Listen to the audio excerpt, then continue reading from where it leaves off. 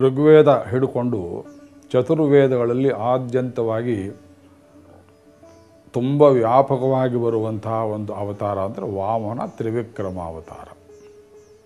ಅತ್ಯಂತ ಕುಳ್ಳನಾಗಿ ಭಗವಂತ ಕಶ್ಯಪ ಮತ್ತು ಅದಿತಿಯರ ಮಗನಾಗಿ ಹುಟ್ಟಿ ಬಲಿಚಕ್ರವರ್ತಿಯ ಯಜ್ಞಮಾಟಿಕೆಗೆ ಹೋಗಿ ಮೂರಡಿ ಭೂಮಿಯನ್ನು ದಾನ ಕೊಡುವಂತೆ ಕೇಳಿ ಅವನು ಲಜ್ಜಿಸುವಂತೆ ಮಾಡಿ ಒಂದು ಅಡಿಯಿಂದ ಭೂಮಿಯನ್ನು, ಇನ್ನೊಂದರಿಂದ ಮೇಲಿನ ಸಪ್ತಲೋಕಗಳನ್ನು ಅಳೆದು, ಮೂರನೇದಕ್ಕೆ ಜಾಗ ಇಲ್ಲದೆ ಇದ್ದಾಗ ಬಲಿಯ ತಲೆಯ ಮೇಲೆಯೇ ಪಾದವನ್ನಿಟ್ಟ, ಬಲಿಯ ಹೃದಯದಲ್ಲಿ ಪಾದವನ್ನಿಟ್ಟು ಅವನಿಗೆ ನಮ್ರತೆಯನ್ನು ಕೊಟ್ಟ ಅನ್ನುವುದು ಅತ್ಯಂತ ಸಂಕ್ಷೇಪದಲ್ಲಿ ಬಲಿಚಕ್ರವರ್ತಿಯ ಕಥೆಯ ಹೊರಗಿನ ರೂಪರೇಖೆಯ ಚಿತ್ರಣ.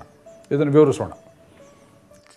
ವೇದಾನುದ್ಧರತೆ, ಜಗನ್ನಿವಹತೆ भूगोलमुद्बिभ्रते दैत्यान्दारयते बलिं छलयते, क्षत्रक्षयं कुर्वते, पौलस्त्यं जयते, हलं कलयते, कारुण्यमातन्वते, म्लेच्छान्मूर्च्छयते, दशाकृतिकृते, कृष्णाय तुभ्यं नमः। देवः पायादपायात् त्रिभुवनभवनः स्तम्भसम्भूतः स युष्मान्। आयुष्मान् यस्य भक्त्या प्रभवति पुरुषः, स्वर्गमार्गे पवर्गे। मत्स्यकूर्मो वराहो, पुरुषहरिवपुः वामनो जामदज्ञः काकुत्स्थः कंसहन्ता। स च सुगतमुनिः कल्किनामाच विष्णुः। देवो न शुभमातनोतु दशधा निर्वर्तयन् भूमिकाम्। रङ्गे धामनि लब्धनिर्भररसैः अध्यक्षितो भावुकैः। यद्भावेषु पृथग्विदेषु अनुगुणान् भावान् तथा बिभ्रती। यद्धर्मैरिह धर्मिणी विहरते नानाकृतिर्नायिका इच्छामीन विहारकच्छप। महापोत्रिन् यदच्छाहरे। रक्षावामन रोषराम। करुणः काकुष्ठहेलाहलिन् क्रीडावल्लव कल्किवाहनदशा कल्किन्निति प्रत्यहम्। ಜಲ್ಪಂತಃ ಪುರುಷಾ ಪುನಂತಿ ಭುವನಂ ಪುಣ್ಯೌಘ ಪುಣ್ಯಾಪಣ. ಈ ಶ್ಲೋಕಗಳನ್ನು ನಮಗೆ ಕೊಟ್ಟವರು ಗೀತ ಗೋವಿಂದದ ಜಯದೇವ ಕವಿ, ಕಾಶ್ಮೀರದ ಹತ್ತನೇ ಶತಮಾನದ ಕವಿ, ದಶಾವತಾರ ಚರಿತ್ರೆಯನ್ನು ಬರೆದಂತಹ ಒಬ್ಬ ಮಹಾಕವಿ ಮತ್ತು ವೇದಾಂತ ದೇಶಕರು. ಹತ್ತು ಅವತಾರಗಳನ್ನು ಒಂದು ಕಡೆ ಪೋಣಿಸಿ ಇವುಗಳ ವೈಖರಿ ಕಾರ್ಯಕ್ಷೇತ್ರಗಳನ್ನು ವರ್ಣಿಸಿದ್ದಾರೆ. ಕ್ಷೇಮೇಂದ್ರ ಕವಿ, ಹತ್ತನೇ ಶತಮಾನದ ಕಾಶ್ಮೀರದ ಕವಿ. ಈಗ ನಾವು ವಾಮನಾವತಾರದ ಘಟ್ಟಕ್ಕೆ ಹೋಗೋಣ, ಯಾಕೆಂದರೆ ಬಲಿಪಾಡ್ಯಮಿ ಬಲಿಚಕ್ರವರ್ತಿಗೆ ಸಂಬಂಧಪಟ್ಟದ್ದು. ನರಕ ಚತುರ್ದಶಿ ಅದು ಅತ್ಯಂತ ಘೋರವಾದ ಕತ್ತಲೆ, ಅದರಿಂದ ಪಾರಾಗಬೇಕು ಮಾನವ ಸಮಾಜ. ಕೃಷ್ಣ ಸ್ಮರಣ ಪೂರ್ವಕವಾಗಿ ಕೃಷ್ಣ ಬೇಕು, ನರಕ ಬೇಡ. ಸ್ಮರಿಸುವುದು ಎರಡು ಅರ್ಥ ಒಂದು ಬೇಕಾದ್ದನ್ನು ಸ್ಮರಿಸ್ತೇವೆ ಒಂದು ಬೇಡವಾದ್ದನ್ನು ಸ್ಮರಿಸ್ತೇವೆ ಅದು ಬೇಡ, ಇದು ಬೇಕು. ನರಕ ಬೇಡ, ಕೃಷ್ಣ ಬೇಕು. ಆದರೆ ಅದಾದ ಕೂಡಲೇ ಬರುವುದು ಒಂದು ಅಮಾವಾಸ್ಯೆ. ಅದಾದ ಮೇಲೆ ಬರುವುದು ಬಲಿಚಕ್ರವರ್ತಿ ಕಥೆ. ಇದು ಇವತ್ತು ನಾಳೆ ನಾಡಿದ್ದು ಈ ಕ್ರಮದಲ್ಲಿ ನಡೆಯಲಿಲ್ಲ ಇತಿಹಾಸದಲ್ಲಿ. ಬಲಿ ಕಾಲವೇ ಬೇರೆ, ನರಕ, ನರಕನ ಕಾಲವೇ ಬೇರೆ. ನಡುವೆ ಬಂತಲ್ಲ ಅಮಾವಾಸ್ಯೆ, ಅದರ ತತ್ವ ಮಾತ್ರ ಒಂದೇ ಎರಡರ ತತ್ವವು. ಕತ್ತಲೆ ತೊಲಗಿತು, ಆದರೆ ಪೂರ್ಣ ತಿಥಿ ಅಂತ ಹೇಳ್ತೇವೆ ಅಮಾವಾಸ್ಯೆ. ಅದರ ತತ್ವ ಏನು ಅಂದರೆ, ಈ ಅಮಾವಾಸ್ಯೆಯಲ್ಲಿ ಲೋಕಕ್ಕೆ ಮಂಗಳಮಯವಾದ ಒಂದು ಬೆಳಕಿನ ಮೊಳಕೆ ಅದರಲ್ಲಿ ಅಡಗಿರುವುದನ್ನು ನಾವು ಪತ್ತೆ ಮಾಡಿಕೊಳ್ಳಬೇಕು. ಯಾವನೇ ಒಬ್ಬ ದುಷ್ಟ ಇರಲಿ, ಶಿಷ್ಟ ಇರಲಿ, ಇಡೀ ಜಗತ್ತನ್ನು ಆಕ್ರಮಿಸಿದ, ಸ್ವಲ್ಪ ಕಾಲ ರಾಜ್ಯಭಾರ ಮಾಡಿದ ಅಂದರೆ ಅವನಲ್ಲಿ ರಾಜ್ಯಲಕ್ಷ್ಮಿ ಅಥವಾ ಭೋಗಲಕ್ಷ್ಮಿ, ಭಾಗ್ಯಲಕ್ಷ್ಮಿ ಅವನಲ್ಲಿ ವಾಸ ಮಾಡುತ್ತಿದ್ಲು ಅಂತ ನಾವು ಒಪ್ಪಿಕೊಳ್ಳಬೇಕಾಗತ್ತೆ. ಈಗ ಬ್ರಿಟಿಷರು ಇಡೀ ಜಗತ್ತನ್ನು ತಮ್ಮ ವಶದಲ್ಲಿ ಇಟ್ಕೊಂಡು ಆಳಿದರು. ಅಮೆರಿಕ ಸ್ವಲ್ಪ ಕಾಲ ಆಳಿತು. ಅರವತ್ತೆಪ್ಪತ್ತು ವರ್ಷ ರಷ್ಯಾದವರು ಕಮ್ಯುನಿಸಮ್ ಇಟ್ಟುಕೊಂಡು ಆಳಿದರು. ಈ ಆಳಿಕೆ ಎಂಬುದು ಒಬ್ಬನಿಗೆ ಬರಬೇಕಾದ್ರೆ ಅದಕ್ಕೊಂದು ಕಿಂಚಿತ್ ಏನಾದ್ರು ಇರಬೇಕಲ್ಲ ಹಿಂದೆ. ಲಕ್ಷ್ಮೀ ಕಟಾಕ್ಷ ಇದ್ದರೆ ಮಾತ್ರ ಇದು ಸಾಧ್ಯ. ಧನಲಕ್ಷ್ಮಿ ಇದ್ದಾಳೆ, ದಾನಲಕ್ಷ್ಮಿ ಇದ್ದಾಳೆ, ಸಂತಾನಲಕ್ಷ್ಮಿ ಇದ್ದಾಳೆ, ಭಾಗ್ಯಲಕ್ಷ್ಮಿ ಇದ್ದಾಳೆ, ವಿದ್ಯಾಲಕ್ಷ್ಮಿ ಅಷ್ಟಲಕ್ಷ್ಮಿ ರೂಪ ಹೇಳ್ತೇವೆ. ಕೆಲವು ಒಳ್ಳೆಯ ಗುಣಗಳು ಇದ್ದಿರಬಹುದು. ಹೀಗಾಗಿ ನರಕನಲ್ಲಿ ಜಗತ್ತನ್ನು ಒಗ್ಗೂಡಿಸೋ ಯಾವುದೇ ಒಂದು ದೈತ್ಯ ಶಕ್ತಿ ಅಂಶದಲ್ಲಿ ಏನು ಲಕ್ಷ್ಮಿ ಇದ್ದಳು ಅದು ಅತಿರೇಕ ಇವನ ದುರಾಚಾರ, ಕಾಮ ಮತ್ತು ಅಹಂಕಾರ, ಭೋಗ ಪಿಪಾಸೆಯಿಂದ ಆ ಲಕ್ಷ್ಮಿ ಅವನನ್ನು ಬಿಟ್ಟು ಹೋದಳು. ಬಿಟ್ಟು ಹೋದದು ಮತ್ತೆ ಕೃಷ್ಣನಿಗೆ ಪ್ರಾಪ್ತಿಯಾಯಿತು ಅದು ಈ ಅಮಾವಾಸ್ಯ ಅರ್ಥ ಅದಕ್ಕೆ ಲಕ್ಷ್ಮೀ ಪೂಜೆ ಮಾಡ್ತೇವೆ. ಎರಡನೇದು, ಅದು ಸಂಧಿಕಾಲವಾದ್ದರಿಂದ ಇಂದ್ರನಿಗೆ ಒಂದು ಕಾಲದಲ್ಲಿ ದೂರ್ವಾಸರ ಶಾಪ ಉಂಟಾಯಿತು. ಇದು ಪುರಾಣಗಳಲ್ಲಿ ಬರುತ್ತೆ ಬಹಳ ಮುಖ್ಯವಾದದ್ದು. ಅವನಿಗೂ ಇದು ಇಂದ್ರನಾದ್ರೇನು, ನರಕಾಸುರಾದ್ರೇನು, ಭೋಗಶಕ್ತಿ, ಅಹಂಕಾರ ಬಂದರೆ ಹಾಳಾಗ್ತಾನೆ ಮನುಷ್ಯ. ಭಾಗವತ ಪೂರ್ತಿ ಇದನ್ನೇ ಹೇಳುತ್ತೆ ನಮಗೆ ಅದು. ಮೂರು ಲೋಕಕ್ಕೆ ತಾನೇ ಇಂದ್ರ ಅನ್ನೋ ಭಾವನೆಯಿಂದ ದೇವೇಂದ್ರ, ಮಹೇಂದ್ರ ಅನಿಸಿಕೊಂಡು ವೈಭವದಲ್ಲಿ ಉತ್ಸವದಲ್ಲಿ ಹೋಗ್ತಾ ಇದ್ದವನಿಗೆ ಮೂರು ಲೋಕದಲ್ಲಿ ಸಂಚಾರ ಮಾಡತಕ್ಕ ಶಕ್ತಿ ಇದ್ದ ದೂರ್ವಾಸರು, ಪರಮಶಿವನ ಸಾಕ್ಷಾತ್, ಅಂಶರೂಪರು, ವಿದ್ಯಾಧರ ದೇವಿಯನ್ನು, ಲಕ್ಷ್ಮೀ ದೇವಿಯನ್ನು ಪೂಜೆ ಮಾಡಿ ಆಕೆಯ ಪ್ರಸಾದವನ್ನು ದೊಡ್ಡ ತೋಮಾಲೆಯನ್ನು ತಂದು ಇಂದ್ರನಿಗೆ ಕೊಡಬೇಕು ಅಂತ ದೇವಲೋಕಕ್ಕೆ ಹೋದಾಗ ಉತ್ಸವದಲ್ಲಿದ್ದ ಇಂದ್ರನಿಗೆ ಅವರ ಕಡೆ ಲಕ್ಷ್ಯ ಹೋಗಲಿಲ್ಲ. ದೂರ್ವಾಸರು ದೂರದಿಂದಲೇ ಅವನನ್ನು ಹರಸಿ, ಅಯ್ಯ ಇಂದ್ರ, ಈ ಮಾಲೆಯನ್ನು ಸ್ವೀಕರಿಸು ಅಂತ ಅವನ ಮೇಲೆ ಎಸೆದರು. ಈ ಜಂಬೂ ಸವಾರಿ ಮಹಾರಾಜರು ಬರುವಾಗ ದೂರದಿಂದ ಮಾಲೆ, ಹಾರ ತುರಾಯಿ ಎಸೆಯೋ ಹಾಗೆ ಅವನೇನು ಮಾಡಿದ ಕ್ಷಣಕ್ಕೆ ಬಂದು ಹೀಗೆ ನೋಡಿ "ಏ, ಇವನೇನು ಮಾಡ್ತಾನೆ ಫಕೀರ್ ಬ್ರಾಹ್ಮಣ ಕೌಪಿನಧಾರಿ ಅಂತ ಕೋಪದಿಂದ ತನ್ನ ಕೈಗೆ ಬಂದ ಲಕ್ಷ್ಮೀ ಧರಿಸಿದ್ದ ಮಾಲೆಯನ್ನು ತನ್ನ ಮದಿಸಿದ ಆನೆ ಐರಾವತದ ತಲೆಯ ಮೇಲೆ ಹಾಕಿದ. ಇಂದ್ರನಿಗೆ ಹತ್ತರಷ್ಟು ಅಹಂಕಾರ ಅದಕ್ಕೆ ಐರಾವತ ನಾಲ್ಕು ಕೊಂಬು. ಚತುರ್ದಂತ ಸಾಮಾನ್ಯವಾದ ಆನೆಯಲ್ಲ. ಸಮುದ್ರ ಮಥನದಲ್ಲಿ ಹುಟ್ಟಿದ ಆನೆ ಅದು. ಅದೇನು ಮಾಡಿತು ಕಾಲ ಕೆಳಗೆ ಹಾಕಿ ಹೊಸಕ್ಕೆ ತುಳಿದು ಬಿಟ್ಟಿತು. ದೇವಲೋಕದಲ್ಲಿ ಲಕ್ಷ್ಮೀ ಪ್ರಸಾದವನ್ನು ಇಂದ್ರ ತಿರಸ್ಕಾರ ಮಾಡಿದ. ಇಂದ್ರ ನಾನೇ ಕಾಲಲ್ಲಿ ಹೊಸಕಿ ಸಗಣಿ ಮಾಡಿದ ಹಾಗೆ ಮಾಡಿತು. ಕೋಪಗೊಂಡ ದುರ್ವಾಸರು, ನಿನ್ನ ಐಶ್ವರ್ಯ ನಾಶವಾಗಲಿ ಅಂತ ಶಾಪ ಕೊಟ್ಟರು ಆ ಕ್ಷಣದಲ್ಲಿ ಪಶ್ಚಾತ್ತಾಪ ಆಯಿತು. ಏ, ನನ್ನ ಶಾಪ ಏನು ವಾಪಸ್ ತಗೊಳ್ಳಿಕ್ಕೆ ಬರೋದಿಲ್ಲ ಇದು ಆಗೋದೆ ಅಂತ ಹೇಳಿದ ಕೂಡಲೇ ಅದೇ ಕಾಲದಲ್ಲಿ ಭೂಮಿಯಲ್ಲಿ ಪ್ರಹ್ಲಾದನ ಮೊಮ್ಮಗ ಬಲಿಚಕ್ರವರ್ತಿ ರಾಜ್ಯಭಾರ ಮಾಡುತ್ತಿದ್ದ ಕಾಲ. ಇದು ಇತಿಹಾಸದಲ್ಲಿಯೂ ಇದರ ಸ್ಮರಣೆ ಇದೆ. ಅದರ ಅಂಶವನ್ನು ಆಮೇಲೆ ಹೇಳ್ತೇನೆ. ಮೊದಲು ಪೌರಾಣಿಕ ಚೌಕಟ್ಟನ್ನು ನೋಡಿಕೊಂಡು ಇತಿಹಾಸ ಹೇಗೆ ಬಂತು, ಇವತ್ತು ನಮ್ಮ ಕೇರಳದಲ್ಲಿ ಈ ವಾಮನಾವತಾರವನ್ನು ಈ ಬೋಟ್ ರೇಸ್ ರೂಪದಲ್ಲಿ ಯಾಕೆ ಆಚರಣೆ ಮಾಡ್ತಾರೆ ಅದು ಎಲ್ಲಿಂದ ಆರಂಭವಾಗುತ್ತೆ, ಅದರೆಲ್ಲ ಕುರಿತು ಹೇಳಬೇಕಾದ ಸಾಕಷ್ಟು ಆಮೇಲೆ ಹೇಳೋಣ. ದೇವತೆಗಳಿಗೂ ಅಸುರರು ಅಥವಾ ದೈತ್ಯರಿಗೂ ಪ್ರಬಲವಾದ ಪೈಪೋಟಿ, ಸ್ಪರ್ಧೆ, ಇದು ಅಧಿಕಾರವನ್ನು ಹಿಡಿಯುವುದರಲ್ಲಿ ಇವತ್ತೇನು ಆಡಳಿತ ಪಕ್ಷ, ವಿಪಕ್ಷ ಅಂತ ನಾವು ಕಣ್ಣೆದುರಿಗೆ ನೋಡ್ತೇವೆ. ಎಲ್ಲ ದೇಶಗಳಲ್ಲಿ ಪ್ರಜಾಪ್ರಭುತ್ವ ಅಂತ ಹೇಳಿಕೊಳ್ಳೋ ಜಾಗದಲ್ಲಾಗಲಿ, ಪ್ರಜಾಪ್ರಭುತ್ವ ಇಲ್ಲದೇ ಜಾಗದಲ್ಲಾಗಲಿ, ಜನರ ಮೇಲೆ, ಸಮಾಜದ ಮೇಲೆ ಪ್ರಭುತ್ವವನ್ನು ಸ್ಥಾಪಿಸಬೇಕು, ಅಧಿಕಾರ ಸ್ಥಾಪಿಸಬೇಕು, ಅಧಿಕಾರ ಹತೋಟಿಗೆ ಬರಬೇಕು ಅನ್ನುವ ಈ ಹಪಾಪಿ ಜಗತ್ತು ಹುಟ್ಟಿದಷ್ಟು ದಿವಸದಿಂದ ಇರುವುದು. ಅದು ಯಾರು ಇಲ್ಲ ಅನ್ನೋ ಹಾಗಿಲ್ಲ ನಿತ್ಯ ಸತ್ಯ. ಅದರಲ್ಲಿ ದೈತ್ಯನಾಗಿದ್ದ ಬಲಿಚಕ್ರವರ್ತಿಗೆ ಇಂದ್ರನನ್ನು ಬಿಟ್ಟು ಹೋದ ಲಕ್ಷ್ಮಿ ಸೇರಿಕೊಂಡ ದಿವಸ ಈ ಅಮಾವಾಸ್ಯ. ಇವನನ್ನು ಬಿಟ್ಟು ಹೋದ್ಲು, ನರಕಾಸುರನನ್ನು ಕೃಷ್ಣನ ಸೇರಿದ್ಲು. ಅದು ಒಂದು ಕಾಲ. ಬಲಿಚಕ್ರವರ್ತಿಯಲ್ಲಿ ಲಕ್ಷ್ಮಿ ಬಂದು ಸೇರಿಕೊಂಡಳು. ಬಲಿಚಕ್ರವರ್ತಿಗೆ ತಂದೆ ಇಟ್ಟ ಹೆಸರು ಅದಲ್ಲ. ಅವನ ಹೆಸರು ಇಂದ್ರಸೇನ ಅಂತ. ಪ್ರಹ್ಲಾದನ ಮಗನ ಹೆಸರು ವಿರೋಚನ. ಅವನನ್ನು ಮೆಕ್ಸಿಕೋದಲ್ಲಿ ವೀರಕೋಚ ಅಂತ ಕರೀತಾರೆ.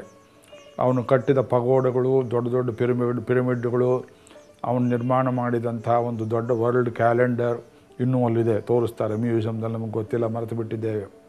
ಅವನ ಮಗ ಈ ಬಲಿ. ಬಲಿ ಚಕ್ರವರ್ತಿಗೆ ಲಕ್ಷ್ಮಿ ಆವಾಹನೆಯಾದ್ದರಿಂದ ಅವನು ದಿಗ್ವಿಜಯಕ್ಕೋಸ್ಕರವಾಗಿ ಹೊರಟ. ದಿಗ್ವಿಜಯಕ್ಕೆ ಸಹಾಯ ಮಾಡಿದವರು ಯಾರು? ಆಂಗಿರಸ ಗೋತ್ರದ ಬ್ರಾಹ್ಮಣರ ಒಂದು ಶಾಖೆಯಲ್ಲಿ ಬಂದಂತಹ ಶುಕ್ರಾಚಾರ್ಯ. ಆಂಗಿರಸ ಗೋತ್ರದವರು ಅಂದರೆ ಅಥರ್ವ ವೇದಿಗಳು. ಫಾರ್ವರ್ಡ್ ಲುಕ್ ಬರೀ ಪರಲೋಕ ವೇದಾಂತ ಅಲ್ಲದೆ ದೀರ್ಘಾಯುಷ್ಯದ ಗುಟ್ಟು ಎಲ್ಲಿದೆ? ಸಾಯದೇ ಇರುವ ಹಾಗೆ ಮನುಷ್ಯ ಬದುಕಬೇಕಾದರೆ ಮೃತ ಸಂಜೀವಿನಿ ವಿದ್ಯೆ ಅನ್ನೋದು ಎಲ್ಲಿದೆ what chemicals could be used what discipline of the body ಇದು ಫಾರ್ವರ್ಡ್ ಇದನ್ನೆಲ್ಲ ಪತ್ತೆ ಮಾಡತಕ್ಕಂಥ ಗೋತ್ರದವರು, ಆಂಗೀರಸ ಗೋತ್ರದವರು, ಅದೇ ದಧೀಚಿ, ದಧ್ಯಂಗ ಅಥರ್ವನ ಗೋತ್ರ. ಅದರಲ್ಲಿ ಎರಡು ಶಾಖೆಯಾಗಿ, ಒಂದು ದೈವೀ ಶಕ್ತಿಗೆ ಇಂದ್ರನಿಗೆ ಆಶೀರ್ವಾದ ಮಾಡ್ತಾ ನಿಂತುಕೊಂಡದ್ದು ದೇವಗುರು ಬೃಹಸ್ಪತಿ, ಅವನು ಆಂಗೀರಸ. ಅವನು ದಾಯಾದ, ಇವನು ಶುಕ್ರ. ಲೋಕವನ್ನು ಬೆಳಗುವ ಶಕ್ತಿ ಉಳ್ಳವನು, ಆದರೆ ಮದ್ಯಪಾನ ಮಾಡುವವನು. ನವಗ್ರಹಗಳಲ್ಲಿ ಶುಕ್ರ ಭೋಗಪ್ರದ. ಬೆಳ್ಳಿ ತುಂಬ ಇಷ್ಟ ಅಂತಾರೆ ಜ್ಯೋತಿಷಾಸ್ತ್ರದಲ್ಲಿ ಶುಕ್ರ ಯಾರ ಗ್ರಹದಲ್ಲಿ ನಾತ, ಜಾತಕದಲ್ಲಿ ಚೆನ್ನಾಗಿರ್ತಾನೆಯೋ ಅವರು ಚೆನ್ನಾಗಿ ಭೋಗವನ್ನು ಅನುಭವಿಸ್ತಾರೆ. ದೇಶ ಅಂತ ಕೇಳಿಲ್ವೇ ನೀವು? ಇವನು ಆ ಭೋಗಶಕ್ತಿ ದೈತ್ಯರ ಕಡೆ ಗುರುವಾಗಿ ನಿಂತುಕೊಂಡು, ನೀನು ಮಾಡು ವಿಕ್ರಮಣ ಮಾಡು, ನಿನಗೆಲ್ಲ ಆಶೀರ್ವಾದ ಕೊಡ್ತೇನೆ ತಪಸ್ಸು ಕೊಡ್ತೇನೆ ಅಂತ ಹೇಳಿ ಮೂರು ಲೋಕಗಳನ್ನು, ಏಳು ಲೋಕಗಳನ್ನು ಬಲಿಚಕ್ರವರ್ತಿ ಗೆದ್ದ. ಇದು ಕಥೆಯ ಒಂದು ರೂಪ. ಮೂರು ಲೋಕ ಅಥವಾ ಏಳು ಲೋಕ ಅಂತ ಹೇಳ್ತೀವಲ್ಲ? ಕೆಳಗಿನ ಏಳು ಲೋಕ ಪಾತಾಳ. ಮೇಲಿಂದ ಏಳು ಲೋಕ ಭೂ ಭುವಃ ಸುವಹ ಮಹಃ, ಜನಃ, ತಪಃ, ಸತ್ಯಂ. ಗಾಯತ್ರಿ ಜಪ ಮಾಡಬೇಕಾದ್ರೆ ನಾವು ಇದಕ್ಕೆ ವ್ಯಾಹೃತಿಗಳು ಅಂತ ಹೇಳ್ತೇವೆ. ಭೂ, ಭುವಃ ಸುವಹ ಇದು ಹೈಯರ್ ವರ್ಲ್ಡ್ಸ್ ಆಫ್ ಲೈಟ್ ಅಲ್ಲಿ ಸತ್ಯಲೋಕಕ್ಕೆ ಬ್ರಹ್ಮ ಇರುವ ತನಕ ಹೋಗಬೇಕು. ಆಮೇಲೆ ಗಾಯತ್ರಿ ಬೆಳಕು, ಲೋಕವನ್ನು ಬೆಳಗೋದು ಕಾಣಿಸು. ಇದು ಮೇಲೆ ಏಳು ಲೋಕ. ಕೆಳಗಿಂದ ಏಳು ಲೋಕ. ಭೋಗಶಕ್ತಿಯಾದ ಬಲಿಚಕ್ರವರ್ತಿ ನಾಭಿಯಿಂದ ಕೆಳಕ್ಕಿರುವ ಏಳು ಲೋಕಗಳನ್ನು, ನಾಭಿಯಿಂದ ಮೇಲಕ್ಕಿರುವ ಈ ಶ್ವಾಸಕೋಶ ರೂಪದಲ್ಲಿ ಉಸಿರಾಡುವ ಈ ಸಹಸ್ರಾರ ಚಕ್ರದವರೆಗೆ ಇರತಕ್ಕಂಥ ಇನ್ನೇಳು ಲೋಕಗಳನ್ನು, ಹದಿನೇಳನ್ನು ಪ್ರತಿಯೊಬ್ಬರ ಮನುಷ್ಯರ ಶರೀರದಲ್ಲಿ ಆಕ್ರಮಿಸಿದ ಅನ್ನೋ ಮಾತಿಗೆ ಅರ್ಥ ನೋಡಿಕೊಳ್ಳಿ. ಆಕ್ರಮಿಸಿದ ಯಾವುದು? ಭೋಗಶಕ್ತಿ ತಾನು ಅನ್ನುವ ಶಕ್ತಿ, ಅಹಂಕಾರ ಶಕ್ತಿ, ತನ್ನದಲ್ಲದೇ ಇದ್ದದ್ದನ್ನೆಲ್ಲ ಆಕ್ರಮಿಸಿಬಿಡಿತು. ಆ ಕ್ಷಣಕ್ಕೆ ಇಂದ್ರನಿಗೆ, ನಾನು ಮಾಡಿದ ತಪ್ಪಾಯಿತು. ದುರ್ವಾಸರ ಶಾಪ ಈಗ ಮಾಡಿಬಿಡ್ತಲ್ಲ ಅಂತ ಪಲಾಯನ ಮಾಡಿದ. ಎಲ್ಲಿ ಮಾಡಿದ? ಹಿಂಬತ್ ಪರ್ವತದ ಆಚೆ ಕಡೆಯಲ್ಲಿ ಮಾನಸ ಸರೋವರ ಅಂತ ಏನಿದೆಯಲ್ಲ, ಅದರಲ್ಲಿ ಒಂದು ತಾವರೆಯ ದಂಟಿನ ಮಧ್ಯದಲ್ಲಿ ಅಡಗಿಕೊಂಡು ಕುಳಿತ. ಇದು ಸಂಕೇತ. ಎಲ್ಲ ವಿವರಿಸೋದು ಕಷ್ಟ. ಋಷಿಗಳು ಬಹಳ ದೊಡ್ಡ ದೊಡ್ಡ ತತ್ವಗಳನ್ನು ಸಣ್ಣ ಸಂಕೇತಗಳಲ್ಲಿ ಹೇಳಿದ್ದಾರೆ. ಸಾಮಾನ್ಯ ಮನುಷ್ಯರಿಗೂ ಎಟ್ಕೋದಿಲ್ಲ ಬಿಡಿಸಿ ಹೇಳೋಣ ಅಂದರೆ ಭಾಷೆ ಬಿಡೋದಿಲ್ಲ. ಅದು ಯೋಗದಲ್ಲಿ ಅನುಭವಿಸ್ಬೇಕು. ಆಮೇಲೆ ಇಂದ್ರಾಣಿ ಬೃಹಸ್ಪತಿ ದೇವರನ್ನ ಕೇಳಿದರು. ನನ್ನ ಗಂಡ ಎಲ್ಲಿ ಹೋಗಿಬಿಟ್ಟ ಗೊತ್ತಾಗಲಿಲ್ಲವಲ್ಲ. ಅವರು ಒಂದು ವಿದ್ಯೆಯನ್ನು ಹೇಳಿಕೊಟ್ರು. ಋಗ್ವೇದದಲ್ಲಿ ಒಂದು ಮಂತ್ರ ಬರುತ್ತೆ. ಇದನ್ನು ನೀನು ಸಾ, ಒಂದು ಸಾವಿರ ಸಲ ಜಪ ಮಾಡು. ನಿನ್ನ ಗಂಡ ಆಡಿಕೊಂಡಿರೋ ಜಾಗ ಗೊತ್ತಾಗತ್ತೆ. ಜಪ ಮಾಡಿದ್ದು ಆಡಿಕೊಂಡು ಹೋದರು. ಅದು ಮುಂದಿನ ಕಥೆ. ಈ ಕಡೆಯಲ್ಲಿ ಬಲಿಚಕ್ರವರ್ತಿ ಮೂರು ಲೋಕಗಳನ್ನು ಆಕ್ರಮಿಸಿದ. ಅದಾದರೂ ಅಧಿಕಾರವನ್ನು ಕಳ್ಕೊಂಡ ದೇವತೆಗಳು ಬಿಡದೆ ಮತ್ತೆ ಅಧಿಕಾರಕ್ಕೆ ಬರುವುದಕ್ಕೆ ಸ್ಪರ್ಧೆಯನ್ನು ಮಾಡ್ತಲೇ ಇದ್ದರು ಇದು ದೇವಾಸುರ ಯುದ್ಧ ನಿರಂತರವಾಯಿತು. ಇವತ್ತು ನಾವು ನೋಡ್ತೇವೆ, ಯಾರೋ ಒಂದು ಪಕ್ಷ ಅಧಿಕಾರಕ್ಕೆ ಬಂದರು. ಅಧಿಕಾರ ಕಳ್ಕೊಂಡವರು ಸುಮ್ಮನೆ ಕೂಡುವ ಪೈಕಿ ಅಲ್ಲ. ಏನಾರು ಮಾಡ್ತಾರೆ, ಚೇತಾವಣೆ ಮಾಡ್ತಾರೆ, ಸಂದರ್ಭಗಳು ಸೃಷ್ಟಿ ಮಾಡ್ತಾರೆ ಅವ್ರನ್ನ ಕೆಳಗಿಳಿಸೋ ಹವ್ಯ ಮಾಡ್ತಾರೆ. ಇದು ನಿರಂತರವಾದ ಯುದ್ಧ. ಅದು ವೇದದಲ್ಲಿ ಅನೇಕ ಕಡೆಗಳಲ್ಲಿ ದೇವಾಸುರ ಸಂಯತ್ತಾಸನ್ ಅಸಾಮಾದಿತ್ಯೋ ನವ್ಯರೋಚತ ತಸ್ಮೈ ದೇವ ಪ್ರಾಯಶ್ಚಿತ್ಯಮೈಚನ್ ಸೂರ್ಯನೇ ಬೆಳಗದೇ ಇರುವಂಥ ಕಾಲವಿತ್ತು. ಸೂರ್ಯನನ್ನು ಪ್ರಾಯಶ್ಚಿತ್ತ ಮಾಡಿ ಅವನಲ್ಲಿದ್ದ ಮಲಿನತ್ವವನ್ನೇ ಸೂರ್ಯ ದೇವತೆ ಆಯ್ತಲ್ಲ. ಅವನನ್ನೇ ಕಪ್ ಮಾಡಿಬಿಟ್ರೆ ಏನು ಗತಿ? ಅಂತ ಪ್ರಾಯಶ್ಚಿತ್ತ ಮಾಡಿದರು, ಈ ಮಂತ್ರಗಳನ್ನು ಹೇಳಿದರು. ಸೂರ್ಯನಿಗೆ ಸೂರ್ಯ ಉಂಟಾಯಿತು ಅಂತ ಯಜುರ್ವೇದದಲ್ಲಿ ಕೆಲವು ಮಂತ್ರಗಳಿವೆ. ಒಂದು ಮತ್ತೆ ಕತ್ತಲೆ ಅವರ ಸೋದಕ ಆರಂಭವಾಯಿತು. ಆ ಯುದ್ಧದಲ್ಲಿ ಆಗ ದೇವತೆಗಳು ಸಾಯ್ತಾ ಇದ್ದರು ಇವತ್ತು ನಾವು ದೇವತೆಗಳು ಅಂದರೆ ಅಮರರು, ಮರ್ತ್ಯರಲ್ಲ, ಅಮರ್ತ್ಯರು ಅಂತ ಹೇಳ್ತೇವೆ. ಅನಿಮೇಷರು, ಕಣ್ಣು ಮಿಟುಕದೇ ಇರುವವರು, ಸರ್ವದಾ ಬೆಳಕನ್ನು ಕಾಣುವವರು, ಇದೆಲ್ಲ ನಮ್ಮ ಕಲ್ಪನೆಗಳು. ಅಸುರರು ಅಂದರೆ ಅಸೂನ್, ರಾಂತಿ, ಇತರರ ಪ್ರಾಣವನ್ನು ಹಿಂಡುವವರು. ಅಸುರ ಶಬ್ದಕ್ಕೆ ಬಲಿಷ್ಠ ಅಂತ ಒಂದು ಅರ್ಥ. ಆರೂಢಾರ್ಥವೇನು? ಹಸುನ್ ರ- ಇನ್ನೊಬ್ಬರ ಪ್ರಾಣವನ್ನು ಹಿಂಡುವುದಕ್ಕೆ ಹುಟ್ಟಿದವರು. ರಾಕ್ಷಸರಂದರೆ ಯಾರು? ತಮ್ಮ ರಕ್ಷಣೆಗೋಸ್ಕರವಾಗಿ ಇತರರ ಪ್ರಾಣ ತೆಗೆಯುವರು ದೈತ್ಯರು, ಶಕ್ತಿ ಇದೆ. ಪರಿಮಿತ ದೃಷ್ಟಿ ಅವರಿಗೆ ಮುಂದೇನು ಕಾಣುವರಲ್ಲ ಈಗೇನು ಎಷ್ಟೇ ನೋಡುವವರು. ಅಹರ್ದೃಶಃ. ಪಣಯ, ಬೇಕನಾಟ, ಋಗ್ವೇದದಲ್ಲಿ ಈ ಶಬ್ದಗಳಲ್ಲಿ ಹೇಳ್ತಾರೆ ಇವ್ರದ್ದು ಸಂಖ್ಯೆಯಲ್ಲಿ ದೊಡ್ಡದಿತ್ತು ಯಾವಾಗಲೂ ಕನೀಯಾಂಸೋ ದೇವಾಹ ಹೇಳಿಬಿಟ್ಟಿದ್ದಾರೆ ವೇದದಲ್ಲಿ. ಜಾಯಾಂಸೋ ಅಸುರಾಹ, ಅಸುರರು ಮೆಜಾರಿಟಿ ಅಂತ ಯಾವಾಗಲೂ. ಅವರ ಸಂಖ್ಯೆ ಬೆಳೀತಾ ಹೋಗುತ್ತೆ. ಅದಕ್ಕೇನು ಮಾಡೋದು? ಸಂಖ್ಯೆ ಹೆಚ್ಚಾಗ್ತಾ ಇದೆ. ಅವರೂ ಸಾಯ್ತಾ ಇದ್ದಾರೆ, ಇವರೂ ಸಾಯ್ತಾ ಇದ್ದಾರೆ, ಆದರೆ ಅವರಿಗೆ ಸಂಖ್ಯೆ ಬಹಳ ಇರೋದರಿಂದ ಈ ಯುದ್ಧ ಯಾರ ಕಡೆ ಸಂಪೂರ್ಣ ವಿಜಯ ಅನ್ನೋದು ನಿಶ್ಚಯವಾಗದೆಯೇ ನಡೀತಾ ಇತ್ತು. ಆಗ ದೇವತೆಗಳೆಲ್ಲ ಹೋಗಿ ಕ್ಷೀರ ಸಮುದ್ರದಲ್ಲಿ ಕಥೆಯಲ್ಲಿ ಹೇಳ್ತಾರೆ. ಶ್ರೀಮನ್ ನಾರಾಯಣನನ್ನು ಕೇಳಿದರು, ನೀವು ನಮ್ಮನ್ನು ಬೆಳಕು, ಬೆಳಗುವುದಕ್ಕೋಸ್ಕರ ಸೃಷ್ಟಿ ಮಾಡಿದ್ದೀಯೇ? ಆದರೆ ನಮ್ಮ ದೇವತೆ, ಮುಖ್ಯ ದೇವತೆ ಓಡಿ ಹೋಗಿಬಿಟ್ಟಿದ್ದಾನೆ. ನಮ್ಮ ಸಂಖ್ಯೆ ಕಡಿಮೆ ಆಗ್ತಾ ಇದೆ. ನಮ್ಮ ಕರ್ತವ್ಯ ನಾವು ಮಾಡುವುದು ಹೇಗೆ? ನಾವು ಸಾಯದೇ ಇದ್ದರೆ ಮಾತ್ರ ಸಂಖ್ಯೆಯಲ್ಲಿ ಕಡಿಮೆ ಇದ್ದರೂ ನಮ್ಮ ಕರ್ತವ್ಯ ನಿರ್ವಹಿಸ್ಬೋದು ಅನ್ನಲಾಗಿ ಆಗ ಭಗವಂತ ಹೇಳಿದ, ನಾನು ಮಲಗಿರೋ ಸಮುದ್ರ ಇದೆಯಲ್ಲ, ಆ ಸಮುದ್ರದ ಅಂತರಾಳದಲ್ಲಿ ಅಮೃತವಿದೆ. ಆ ಅಮೃತವನ್ನು ನೀವು ಸ್ವೀಕಾರ ಮಾಡಬೇಕಾದ್ರೆ ಅದು ಹಾಗೆ ಸಿಕ್ಕೋದಿಲ್ಲ, ಕಡೆಯಬೇಕು ಅದನ್ನು. ಪಾಲ್ಗಡಲನ್ನು ಕಡೆಯಬೇಕು. ಸಂಕೇತ. ಕಡಿಬೇಕಾದ್ರೆ ಮಂಥಕೋಲ್ ಯಾವುದು? ಒಂದು ಮಂಥರ ಪರ್ವತ. ಮಂಥ ಪರ್ವತ ಮಂಥರ ಮಂದರ ಮಾಡಿದ್ದಾರೆ. ಮಂಥನ ಪರ್ವತ ಕಡಗೋಲು ಅದಕ್ಕೆ ಬೇಕಲ್ಲ, ಹಗ್ಗ. ವಾಸುಕಿ ಎಂಬ ಒಬ್ಬ ನಾಗನನ್ನು ಅವನು ಆದಿಶೇಷನ ತಮ್ಮ ಅಂತ ಹೇಳ್ತಾರೆ. ಅದನ್ನು ಹಗ್ಗವನ್ನಾಗಿ ಮಾಡಿ ಕಡಿಯಬೇಕು. ನೀವು ಪುಸ್ತಕಲಿಗಳು ನೀವು ಶರೀರ ಶಕ್ತಿ ಇಲ್ಲದೆ ಇದ್ದವರು ತಾತ್ಕಾಲಿಕ ಒಡಂಬಡಿಕೆ ಮಾಡಿಕೊಳ್ಳಿ. ಜಾಯಿಂಟ್ ಆಪರೇಷನ್ ಅಂತ ಮಾಡಿ, ಮಿಲಿಟ್ರಿ ಆಪರೇಷನ್ನು. ಹಸುರನ್ನು ಸೇರಿಸ್ಕೊಳ್ಳಿ. ಬಲಿಚಕ್ರವರ್ತಿನ ಹೇಳಿ. ನೀವು ಸೇರ್ಕೊ ನಿಮ್ಮ ಜೊತೆ ನಮ್ಮನ್ನ ಹೇಗೆ ನಂಬೋದು ಅಂತ ಕೇಳಿದ್ರೆ ಏನಿಲ್ಲ. ನಾವು ನೀವು ಎದುರು, ಎದುರಿಗೆ ಇರ್ತೀವಿ. ಸಮುದ್ರ ಮಥನ ಆದ ಕೂಡಲೇ ಯಾವಾಗ ಬರುತ್ತೋ ಗೊತ್ತಿಲ್ಲ ಅಮೃತವೆಂಬುದು ಎಲ್ಲರೂ ಸಮವಾಗಿ ಹಂಚಿಕೊಳ್ಳೋಣ ಒಡಂಬಡಿಕೆ ಮಾಡಿಕೊಳ್ಳಿ. ಮುರಿಯೋದಿದ್ದೇ ಇದೆ, ಆಮೇಲೆ ಮಾಡೋಣ ಎಂಬುದಾಗಿ ಇದು ಶುಕ್ರನೀತಿ.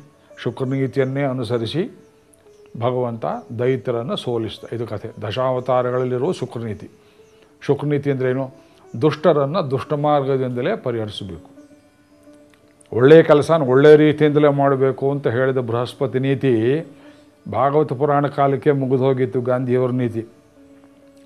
ಒಳ್ಳೆಯದನ್ನು ಒಳ್ಳೆಯ ರೀತಿಯಲ್ಲಿ ಮಾಡೋಕ್ಕಾಗದಿದ್ದರೆ ಒಳ್ಳೆಯದನ್ನು ಕೆಟ್ಟ ರೀತಿಯಿಂದಲಾದರೂ ಮಾಡು, ಕೆಟ್ಟವರು ಅನುಸರಿಸಿದ ರೀತಿಯಿಂದಲಾದರೂ ಮಾಡು. ಮಹಾಭಾರತದಲ್ಲಿ ದುರ್ಯೋಧನ, ಕಣಿಕ ಶಕುನಿ ಮಾಡಿದ್ದು, ಕೆಟ್ಟದ್ದನ್ನೇ ಕೆಟ್ಟ ರೀತಿಯಿಂದ ಮಾಡು, ಇದು ಮೂರನೇ ರೀತಿ, ಕಣಿಕ ರೀತಿ, ಶಕುನಿ ರೀತಿ, ಇನ್ನೊಂದು ಶುಕ್ರ ನೀತಿ, ಇನ್ನೊಂದು ಬೃಹಸ್ಪತಿ ನೀತಿ, ಇವುಗಳಲ್ಲಿ ತಾಕಲಾಟ ಮಂಥನ. ಸರಿ, ಇಂದ್ರನನ್ನು ಹೋಗಿ ದೇವತೆಗಳೆಲ್ಲ ಇಂದ್ರಾಣಿಯನ್ನು ಮುಂದಿಟ್ಕೊಂಡು ಸ್ತೋತ್ರ ಮಾಡಿ ಕರ್ಕೊಂಡ್ಬಂದರು ಈ ಉಪಾಯವನ್ನು ಹೇಳಿದರು. ಸರಿ, ದೇವಗುರು, ಬೃಹಸ್ಪತಿ ಹಸುರುಗುರು ಪರಸ್ಪರ ಸೇರಿಕೊಂಡು, ನೋಡಪ್ಪ ನಾವಿಬ್ಬರೂ ಸೇರಿ ಈ ಹೊಡೆದಾಟ, ಬಿಡದಾಟ ಬೇಡ, ಸಮವಾಗಿ ಹಾಳು ಹಾಳೋಣ ಭೂಮಿಯನ್ನು. ಸಮುದ್ರ ಮಂಥನ ಮಾಡೋಣ, ಅವನು ಹೇಳಿದ್ದಾನೆ, ಒಳಗಡೆ ಇದೆಯಂತೆ ಅಮೃತ. ನಿಮ್ಮನ್ನು ನಂಬೋದು ಹೇಗೆ? ನೀವು ಹೇಗೆ ಹೇಳಿದ್ರೆ ಹಾಗೆ ಕೇಳ್ತೇವೆ, ನಿಮ್ಮ ಎದುರಿಗೆ ಇರ್ತೇವೆ, ನಿಮ್ಮನ್ನು ಬಿಟ್ಟು ಎಲ್ಲಿ ಹೋಗೋದಿಲ್ಲ. ನಂಬಿಕೆ ಉಂಟಾಯಿತು.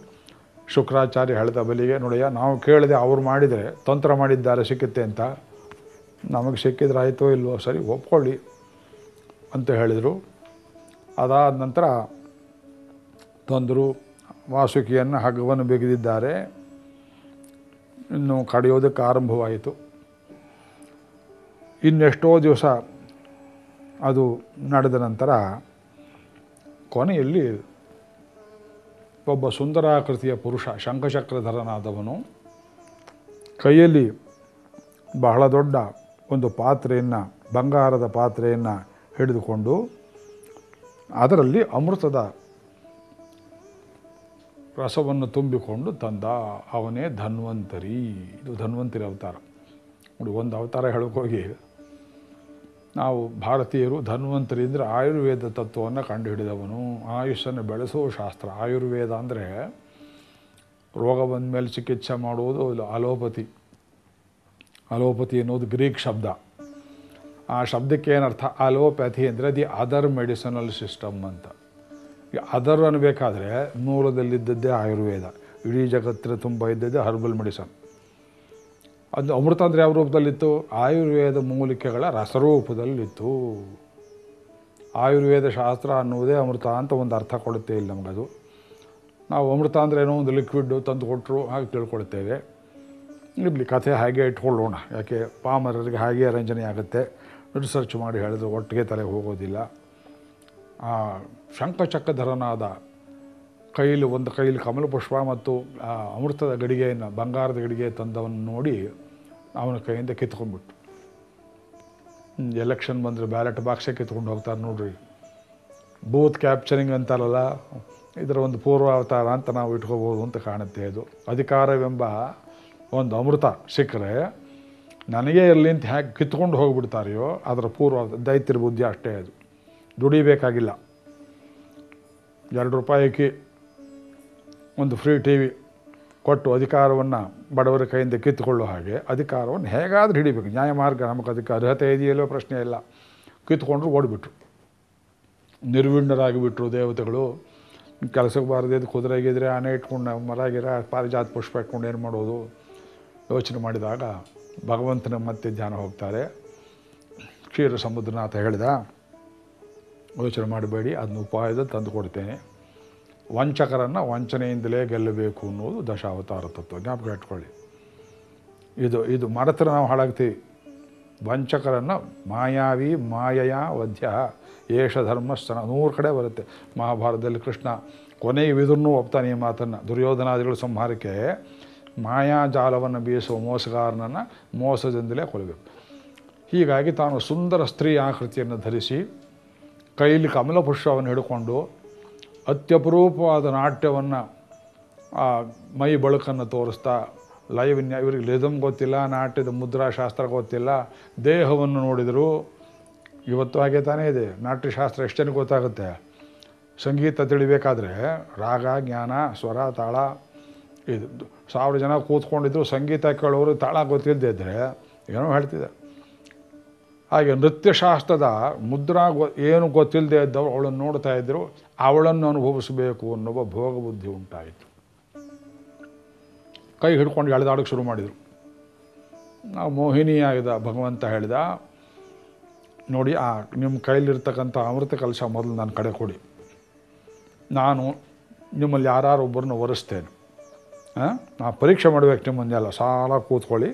ದೇವತೆಗಳು ಅಷ್ಟೇ ಹಸುರರು ಅಷ್ಟೇ ಅಂತ ಎದುರು ಬದಲಾಗಿ ಸಾಲ ಕೂರಿಸಿ ತಾನು ಅಮೃತ ಕಲಶವನ್ನು ಕೈಲಿಟ್ಕೊಂಡು ಮೋಹಕವಾದ ಒಂದು ಸೌಟು ಉದ್ಧರಣಿಯನ್ನು ಕೈಲಿ ಹಿಡ್ಕೊಂಡು ತಾನೇ ಹಾಡ್ತಾ, ನಾಟ್ಯವನ್ನು ಮಾಡ್ತಾ, ಅದರಲ್ಲಿ ಆ ಉಭಯ ಪಕ್ಷದವರಿಗೆ ಒಂದು ಮೋಹಕತೆ ಉಂಟಾಗುವಂತೆ, ಯಾತು ಕೂತಿದ್ದೇವೆ ಅಂತ ಮರೆಯುವಂತೆ ಅಷ್ಟು ಮೋಹಕವಾದ ನೃತ್ಯವನ್ನು ಮಾಡ್ತಾ ಮಾಡ್ತಾ ಒಂದೊಂದು ಉದ್ಧರಣೆಯನ್ನು ಈ ಕಡೆ ಕೊಡುವಾಗ ದೇವತೆಗಳಿಗೆ ಮಾತ್ರ ಸಲ್ಲುವಂತೆ, ಮತ್ತೊಂದು ಕಡೆ ಕೂತಿದ್ದವರಿಗೆ ಸುಮ್ಮನೆ ಸೌಟ್ ಶಬ್ದ ಮಾಡುವಂತೆ. ಈ ಛತ್ರಗಳಲ್ಲಿ ಹಳೆ ಕಾಲದಲ್ಲಿ ಮಾಡ್ತೇವೆ ಮದುವೆ ಮನೆಗಳಲ್ಲಿ ಸುಮ್ಮನೆ ಬಡಿಸ್ತಾ ಕೊಟ್ಟು ಕೊಟ್ಟ ಅನ್ಬೇಕು ಏನು ಸಿಕ್ಕಿರಬಾರ್ದು ಅವರಿಗೆ. ಹೀಗೆ ಮಾಡಿ ಒಂದು ಹನಿ ಅಮೃತ ಸಿಕ್ಕದೆ ಇರುವಂತ ವಂಚಿಸಿಬಿಟ್ಟ. ಅವ್ರಿಗೆ ಸಿಕ್ ಬಟ್ಲಲ್ಲಿ ಏನೂ ಬೀಳಲಿಲ್ಲ ಅಂತ ಗೊತ್ತೇ ಆಗಲಿಲ್ಲ ಅವರಿಗೆ. ಎಲೆಕ್ಷನಲ್ಲಿ ಸೋತು ಅಂತಲೇ ಗೊತ್ತಾಗಲಿಲ್ಲ. ಆದರೆ ಅವರಲ್ಲಿ ಒಬ್ಬ ಸ್ವರ್ಭಾನು ಅಂತ ಒಬ್ಬ ರಾಕ್ಷಸನ ಹೆಸರು ಸ್ವರ್ಭಾನು, ಹಗಲಲ್ಲಿಯೇ ಸೂರ್ಯನಂತೆ ಸೂರ್ಯನಿಗೆ ಪ್ರತಿಸ್ಪರ್ಧಿಯಾಗಿ ಬೆಳಗುವ ಒಂದು ಶಕ್ತಿ. ಲೇ ನಮಗೆ ಮೋಸ ಆಯಿತು ಅಂಥೇಳಿ ಅವನೇನು ತಿಳ್ಕೊಂಡ, ದೇವತೆಗಳ ಕಡೆ ಹೋಗಿ ಕೂತ್ಕೊಂಡು ನಮಗಷ್ಟು ಸಿಕ್ಕುತ್ತೆ ಅಂತ ತಪ್ಪಿ ಕೂತ ಮೇಲೆ ಸೂರ್ಯಚಂದ್ರರು ನೋಡಿದರು, ಇವನು ಅಲ್ಲಿರಬೇಕಾದವನು ಇಲ್ಲಿ ಬಂದಲ್ಲ ಅಂತ ಮೋಹಿನಿಗೆ ಸೂಚನೆ ಮಾಡಿದ್ದರಿಂದ ಮೋಹಿನಿ ಒಡನೆಯೇ ವಿಷ್ಣು ರೂಪವನ್ನು ತಾಳಿ ಚಕ್ರದಿಂದ ಪ್ರಯೋಗ ಮಾಡಲಾಗಿ ತಲೆ ಕತ್ತರಿಸಿ ಹೋಯಿತು. ಅಮೃತ ಕುಡಿದ ಭಾಗ ಗಂಟ್ಲಿಂದ ಎಳೆಯೋ ಪೂರ್ವದಲ್ಲಿ ಯಾವುದು ಕುಡಿದಿತ್ತೋ ಅದು ಕೇತುವಾಯಿತು. ಅಮೃತ ಕುಡಿದೇ ಇದ್ದದ್ದು ರಾಹುವಾಯಿತು. ಇದು ಒಂದು ವಿವರಣೆ, ಸಾಂಕೇತಿಕವಾದ ವಿವರಣೆ. ರಾಹುಕೇತು ಯಾ ಬರೀ ಪುರಾಣದ ಕಥೆ, ಬರೀ ಮೂಢನಂಬಿಕೆ ಅಂತಲ್ಲ, ಅಲ್ಲ, ಸಂಕೇತ ಇದೆ. ಗ್ರಹ ಅಂದರೆ ಹಿಡಿಯುವುದು. ಮನುಷ್ಯನನ್ನು ಹಿಡಿಯುವುದು, ಬೆಳಕು ಹಿಡಿಬೋದು ಕತ್ಲೆಯೂ ಹಿಡಿಬೋದು. ಇದು ಅಮೃತ ಮಥನದ ಕಥೆ. ಇದಾದ ನಂತರ ಆ ದೇವತೆಗಳು ಅಮರ್ತ್ಯರಾದರು. ಅಮೃತಪಾನ ಮಾಡಿದ್ರಿಂದ ಅಂದರೆ ಕೊನೆಗೂ ನಿರಾಶೆ ಆಯಿತು ಹಸುರರಿಗೆ. ನಾವೇನು ಆಗಬಾರ್ದು ಅಂತಿದ್ದು ಅದನ್ನೇ ಮಾಡಿಬಿಟ್ರಲ್ಲ ಓ ಇದು ಮೋಹಿನಿ ಅಂತ ನಾವು ಮೋಸ ಹೋಗಿಬಿಟ್ವು. ಇದು ವಿಷ್ಣು ವಂಚಕನಾಗಿಬಿಟ್ಟಲ್ಲ ಏನು ಮಾಡೋದು ಅಂತ ಶುಕ್ರಾಚಾರ್ಯನನ್ನು ಮತ್ತೆ ಆಶ್ರಯ ಮಾಡ್ತಾರೆ. ಈ ಸಲ ನಾವು ಏಮಾರಿ ಹೋದವು. ನಮ್ಗೆ ಏನಾದ್ರು ಒಂದು ಬೇರೆ ದಾರಿ ತೋರಿಸ್ಕೊಡಿ ಅಂದಾಗ, ಶುಕ್ರ ಒಂದು ವಿದ್ಯೆಯನ್ನು ಕಂಡು ಹಿಡಿದ ಅದು ಮೃತ ಸಂಜೀವನಿ. ಸತ್ತವರನ್ನು ಎಬ್ಬಿಸುವ ವಿದ್ಯೆ. ನಿಮ್ಮ ಕ್ಲೋನಿಂಗ್ ಇದ್ದ ಹಾಗೆ ಇವತ್ತು. ಮನುಷ್ಯನ ಶರೀರದ ಒಂದು ಒಂದು ಸಣ್ಣ ಅಂಶದಿಂದ, ಒಂದು ಜೀವಕೋಶದಿಂದ ಅಂಥದೇ ಮನುಷ್ಯನನ್ನು ಸೃಷ್ಟಿ ಮಾಡುವ ಶಕ್ತಿ ಇವು ಸ್ವಲ್ಪ ನಾವು ಕ್ಲೋನಿಂಗ್ ಅನ್ನೋ ಶಬ್ದ ರೂಪಾಂತರ ಕೊಟ್ಟರೆ ಇವತ್ತಿನ ಜನಕ್ಕೆ ಅರ್ಥವಾಗುತ್ತೆ ಇಲ್ಲ ತಿಳಿಯೋದಿಲ್ಲ ಅದು. ಆದರೆ ಇದನ್ನು ಯಾವ ಮಾಯ, ಮಾಟ, ಮೋಸ ಅನ್ನೋ ದೃಷ್ಟಿಯಿಂದ ಮೋಡಿ ಅಂತ ನೋಡಿದರೆ ಮಲಯಾಳದಲ್ಲಿ ಇನ್ನೂ ಇದ್ದಾರೆ ಅಂತ ಹೇಳ್ತೇವೆ, ಕಣ್ಣು ಕಟ್ಟಿ ಮಾಯೆ ಅಂತ ಒಂದು ಹೇಳ್ತೇವೆ. ಒಂದು ಸೆಕೆಂಡ್, ಎರಡು ಸೆಕೆಂಡು. ನಿಮ್ಮ ಕಣ್ಣಿಗೆ ಏನೋ ಕಾಣಿಸುತ್ತೆ, ಅಲ್ಲಿ ಏನಿರುವುದಿಲ್ಲ ಅಂದರೆ ಸತ್ತವನನ್ನು, ಇದ್ದವನಂತೆ ತೋರಿಸುವಂತಹ ಒಂದು ಮೋಸದ ವಿದ್ಯೆ ಇದು ಮೃತ ಸಂಜೀವಿನಿ. ಇಂಥದ್ದೆಷ್ಟೋ ಕೆಟ್ಟ ವಿದ್ಯೆಗಳು. ಈ ಹಸುರರು ಸತ್ತವ್ರನ್ನೆಲ್ಲ ತಗೊಂಡೋಗಿ ತಗೊಂಡೋಗಿ ಹೆಣವೆಲ್ಲ ಒಂದು ಬಾವಿಗೆ ಹಾಕ್ತಾ ಇದ್ರಂತೆ. ಶುಕ್ರಾಚಾರ್ಯ ಮೃತ ಸಂಜೀವಿನಿ ವಿದ್ಯೆಯಿಂದ ಅವ್ರನ್ನೆಲ್ಲ ಬದುಕಿಸಿ ತರ್ತಾ ಇದ್ದ ಅಂತ ಇದು. ಇದು ತಾತ್ಕಾಲಿಕವಾದ ಕಥೆ ವಾಮನಾವತಾರಕ್ಕೆ ಪೂರ್ವದ ಕಥೆ. ಇದಕ್ಕೆ ಸೇರಿದ ಹಾಗೆ ಇನ್ನೊಂದು ಕಥೆ, ಮಹಾಭಾರತ ಆದಿಪರ್ವದಲ್ಲಿ ಕಚದೇವಯಾನಿ ಕಥೆ ಅಂತ ಒಂದು ಬರ್ತದೆ. ಇದನ್ನು ನೋಡಿದ ಇಂದ್ರ, ಆ ವಿದ್ಯೆಯನ್ನು ನಾವು ಪಡ್ಕೋಬೇಕಲ್ಲ ಯಾಕೆ ಅವರಲ್ಲಿ ಏನೇನಿದೆ, ಕ್ಷಿಪಣಿಗಳು ನಮ್ಮಲ್ಲಿ ಬೇಕು, ಅವರಲ್ಲಿದ್ದ ಬಾಂಬ್ಗಳು ನಮ್ಮಲ್ಲಿ ಬೇಕು ರಕ್ಷಣೆಗೆ ಅಂತ. ಅಮೃತ ಇದ್ದರೆ ಸಾಲದು, ಮೃತ ಸಂಜೀವನಿಯೂ ಬೇಕು ಅಂತ ಹೇಳಿ ದೇವಗುರು ಬೃಹಸ್ಪತಿ ಮಗ ಕಚನೆಂಬುವನನ್ನು ಕಳಿಸಿ, ನೀ ಶುಕ್ರಾಚಾರ್ಯನಲ್ಲಿ ಗುರುಕುಲ ವಿದ್ಯಾಭ್ಯಾಸವನ್ನು ಮಾಡಿ ಪಡ್ಕೊಂಡು ಬಾ ಅಂತ ಹೇಳಿ ಕಳಿಸಲಾಗಿ. ಶುಕ್ರಾಚಾರ್ಯ ಇವನು ಶತ್ರು ಮಗ ಏನು ಮಾಡೋದು? ಬಂದವನಿಗೆ ವಿದ್ಯೆ ಇಲ್ಲ ಅನ್ನೋ ಹಾಗಿಲ್ಲ, ಗುರುಕುಲ ವಾಸ ಮಾಡು ಅಂತ ಹೇಳಿ ಶುಕ್ರನಿಗೆ ಒಬ್ಬಳೇ ಮಗಳು, ದೇವಯಾನಿ, ಇವಳ ಪ್ರೀತಿ ಉಂಟಾಗಿ. ಕೊನೆಯಲ್ಲಿ ಆ ವಿದ್ಯೆ ಪಡ್ಕೊಳ್ಳೋದಕ್ಕೆ ಏನು ಮಾಡಿತು? ಅಸುರರೆಲ್ಲ ನೋಡ್ತಾರೆ, ಆಗ ಬೇರೆ ವೃಷಪರ್ವ ಅಂತ ಇದ್ದ ಅಸುರರ ಕಡೆ ಬಲಿಚಕ್ರವರ್ತಿ ಕಡೆ ಇವನು ಮೃತ ಸಂಜೀವನಿ ವಿದ್ಯೆ. ಅದು ಶುಕ್ರ ವಿಧಿ ಇಲ್ಲದೆ ಮಗಳ ಮೇಲಿನ ವ್ಯಾಮೋಹಕ್ಕೋಸ್ಕರವಾಗಿ ದೇವಗುರು ಪುತ್ರ ಕಚನಿಗೆ ಉಪದೇಶ ಮಾಡಲೇಬೇಕಾಯಿತು. ಅದರ ಫಲ ಏನಾಯಿತು ಅಂದರೆ ಅಮೃತವನ್ನು ಕಳ್ಕೊಂಡ್ರು ಒಂದು ಕಡೆ ಸುರರು. ಇವರು ಮೃತ ಸಂಜೀವನಿಯನ್ನು ಪಡ್ಕೊಂಡು ಅದಕ್ಕೆ ಸ್ಪರ್ಧಿಯಾದ ಇನ್ನೊಂದು ಸಬ್ಸ್ಟ್ಯೂಟ್ ಅಂತ ಮಾಡಿಕೊಂಡಿದ್ದರು ಇದು ಎರಡರಿಂದಲೂ ಅಸುರರು ವಂಚಿತರಾದರು. ಇತ್ಲಾಗ ಅಮೃತವೂ ಸಿಕ್ಕಲಿಲ್ಲ. ಮೃತ ಸಂಜೀವನಿ ವಿದ್ಯೆ ತಮ್ಮಲ್ಲಿತ್ತು ಹೋದ್ರೆ ಇನ್ನೊಬ್ಬರಲ್ಲಿಯೂ ಇದ್ದರೆ ಅದು ನ್ಯೂಟ್ರಲ್ ಆಯ್ತಲ್ಲ. ನನ್ನಲ್ಲಿ ಇದ್ದದ್ದು ಇನ್ನೊಬ್ಬಳು ಒಂದು ಬಾಂಬ್ ಇದ್ದರೆ ಹೀಗಾಗಿ ನಾವು ದೇವತೆಗಳ ಜೊತೆಯಲ್ಲಿ ಸ್ಪರ್ಧೆ ಮಾಡುವುದು ಹೇಗೆ? ಮೃತ ಸಂಜೀವಿನಿ ವಿದ್ಯೆಯ ಮಂತ್ರವನ್ನು ಪಡೆದುಕೊಂಡವನು ಕಚ, ದೇವಲೋಕಕ್ಕೆ ಹೋರಿದ. ಈ ವಿದ್ಯೆ ದೇವತೆಗಳಿಗೆ ಸಿದ್ಧಿಯಾಯಿತು. ಅಂದರೆ ದೇವತೆಗಳಿಗೆ ಎರಡು ಸಿದ್ಧಿಯಾಯಿತು. ಒಂದು ಅಮೃತ ಲಾಭ, ಇನ್ನೊಂದು ಮೃತ ಸಂಜೀವಿನಿ ಲಾಭ. ದೈತ್ಯರಿಗೆ ವಂಚನೆಯಾಗಿದ್ದು ಅಮೃತವೂ ಸಿಕ್ಕಲಿಲ್ಲ ಆ ಕಡೆಯಲ್ಲಿ. ಮೃತ ಸಂಜೀವಿನಿ ವಿದ್ಯೆಯು ದೇವತೆಗಳ ಕಡೆ ಹೋಗಿ ಸೇರಿದ್ರಿಂದ ಅಷ್ಟರ ಮಟ್ಟಿಗೆ ಅವರ ಶಕ್ತಿಯು ಕಡಿಮೆಯಾಯಿತು. ಏನು ಮಾಡೋದು ಅಂತ ದೇವತೆಗಳೆಲ್ಲ ಮುಂದೆ ಯುದ್ಧ ಅಂತೂ ಬಿಡೋದಿಲ್ಲ ಇವರು ಹಸುರರು ಏನು ಮಾಡೋದು ಅಂತ ಅವರು ಯೋಚನೆ ಮಾಡುವಷ್ಟರಲ್ಲಿ ಇವರು ಎಲ್ಲ ಕೂತ್ಕೊಂಡು ಒಂದು ಕಡೆ ಶುಕ್ರಾಚಾರ್ಯನ ಮಧ್ಯದಲ್ಲಿಟ್ಟುಕೊಂಡು ಯೋಚನೆ ಮಾಡಿದರು. ಪರಾಜಿತ ಶ್ರೀ ಅಸುಭಿಶ್ಚಹಾಪಿತಃ ಇಂದ್ರೇಣ ರಾಜನ್ನೇ ಭೃಗುಭಿಸ್ ಸಜೀವಿತಃ. ಸರ್ವಾತ್ಮನಾ ತಾನ್ ಅಭಜತೆ ಭೃಗೋನ್ ಬಲಿ ಶಿಷ್ಯೋ ಮಹಾತ್ಮ ಅರ್ಥನಿವೇದನೇನ. ಒಂದು ಆಶ್ಚರ್ಯಕರವಾದ ಶ್ಲೋಕ ಶ್ರೀಮದ್ ಭಾಗವತ ಎಂಟನೇ ಸ್ಕಂದ. ಒಂದು ಕಡೇ ಯುದ್ಧದಲ್ಲಿ ಕಡೆ ಅಂದರೆ ಈ ಯುದ್ಧದಲ್ಲಿ ಎಷ್ಟೋ ಸಣ್ಣ ಸಣ್ಣ ಪುಡಿ ಪುಡಿ ಭಾಗಗಳು ನಡೆಯುತ್ತವಲ್ಲ ದೇವಾಸುರ ಯುದ್ಧ ನಿರಂತರದಲ್ಲಿ ಪರಾಜಿತ ಶ್ರೀ ಐಶ್ವರ್ಯವನ್ನು ಕಳ್ಕೊಂಡ ಬಲಿ ಚಕ್ರವರ್ತಿ ಸೋತ. ಇದು ನಂಬೋದು ಕಷ್ಟ ನಿಮಗೆ. ಅಸುಭಿಶ್ಚಹಾಪಿತಃ ಪ್ರಾಣವನ್ನು ಕಳ್ಕೊಂಡ ಮೃತ ಸಂಜೀವನಿ ಗೊತ್ತಿತ್ತು ಇವರಿಗೆ. ಪ್ರಾಣವನ್ನೇ ತೆಗೆದುಬಿಟ್ರು. ಆದರೆ ಭೃಗುವಂಶದ ಶುಕ್ರಾಚಾರ್ಯ ಮತ್ತೆ ಬದುಕಿಸಿದ ಆ ಮೃತ ಸಂಜೀವಿನಿ ವಿದ್ಯೆಯಿಂದ ಬಲಿಚಕ್ರವರ್ತಿಯನ್ನು ಅಂದರೆ ಯುದ್ಧ ನಿಲ್ಲೂ ಹಾಗಾಗಲಿಲ್ಲ, ಮತ್ತೆ ಶುರುವಾಯಿತು. ಸರ್ವಾತ್ಮನ ತಾನ ಭಜದ್ ಭೃಗೂನ್ ಬಲಿ ಬಲಿ ಚಕ್ರವರ್ತಿ. ಈ ಭೃಗುವಂಶದ ಈ ಶುಕ್ರ ಮತ್ತು ಅವನ ಶಿಷ್ಯರು, ಮಕ್ಕಳನ್ನು ಚೆನ್ನಾಗಿ ಸೇವೆ ಮಾಡಿದ್ದರಿಂದ ಬ್ರಾಹ್ಮಣ ಶಕ್ತಿಯಿಂದ ಮೇಲಕ್ಕೆದ್ದು ಬಂದ. ಆಮೇಲೆ ಯೋಚನೆ ಮಾಡಿದರು ಈ ದೇವತೆಗಳನ್ನು ಸರ್ವಾತ್ಮನ ವಿನಾಶ ಮಾಡುವುದಕ್ಕೆ ಒಂದು ದಿಗ್ವಿಜಯ ಮಾಡಬೇಕು, ಪಾದಯಾತ್ರೆ ಮಾಡಬೇಕು. ಕಳೆದು ಹೋದ ರಾಜ್ಯ ಮತ್ತೆ ಸಿಕ್ಕಬೇಕಾದ್ರೆ ಪಾದಯಾತ್ರೆ ಅಂತ ಇವತ್ತೇನು ಮಾಡ್ತಾರೆ? ಆವತ್ತು ಅದನ್ನು ದಿಗ್ವಿಜಯ ಅಂತ ಕರೀತಿದ್ರು. ನೂರು ಲೋಕವನ್ನು ಗೆಲ್ಲುವ ಕೆಲಸ ಆಕ್ರಮಣ ಮಾಡಿಬಿಡೆಯ ಹುರಿದುಂಬಿಸಿಬಿಟ್ಟ ಶುಕ್ರಾಚಾರ್ಯ. ಇವನು ಮೂರು ಲೋಕವನ್ನು ಗೆದ್ದ ಇನ್ನೊಂದು ಸಲ. ಇಂದ್ರಾದಿಗಳೆಲ್ಲ ಮತ್ತೆ ಓಡಿ ಹೋದರು. ಎಷ್ಟು ಸಲ ಓಡಿ ಹೋದರೋ, ಏನು ಕಥೆಯೋ?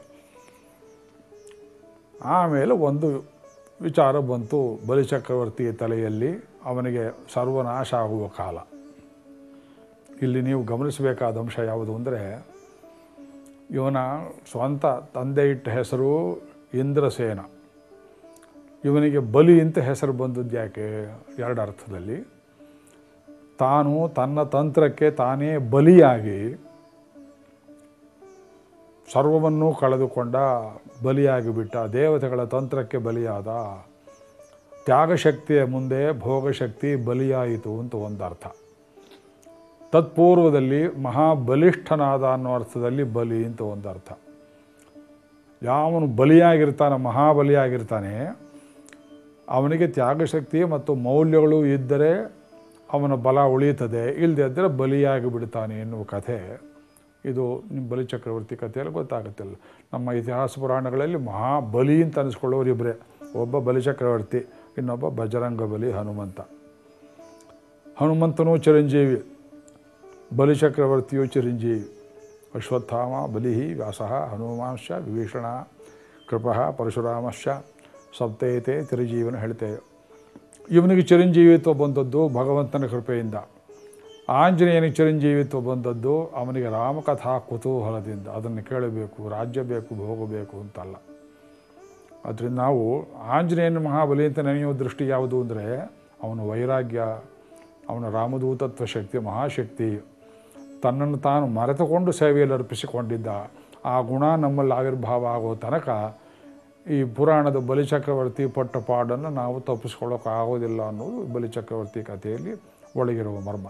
ಇದನ್ನು ಬೇಂದ್ರೆಯವರು, ಕವಿವರ್ಯ ಬೇಂದ್ರೆಯವರು ಬಹಳ ಸುಂದರ ಪದ್ಯದಲ್ಲಿ ಪಶ್ಚಿಮದ ದೈತ್ಯ ಶಕ್ತಿಗಳೇ ಅಳವಡಿಸಿ ತೋರಿಸಿಕೊಟ್ಟ ಒಂದು ಹದಿನಾಲ್ಕು ಸಾಲಿಂದು ಸುನೀತ ಸಾನೆಟ್ಟಿದ್ದ ಓದಿ ತೋರಿಸ್ತೇನೆ ಆಮೇಲೆ.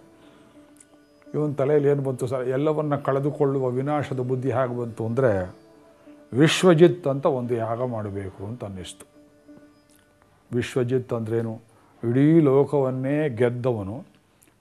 ಕೊನೆಯಲ್ಲಿ ಮಾಡಬೇಕಾದ್ದು ಒಂದು ಯಾಗ. ಇದು ನಮ್ಮ ಆಗಮಗಳಲ್ಲಿ ಮೀಮಾಂಸಾ ಶಾಸ್ತ್ರದಲ್ಲಿ, ವೇದದಲ್ಲಿ ಹೇಳ್ತಾರೆ, ವಿಶ್ವಜಿತ್.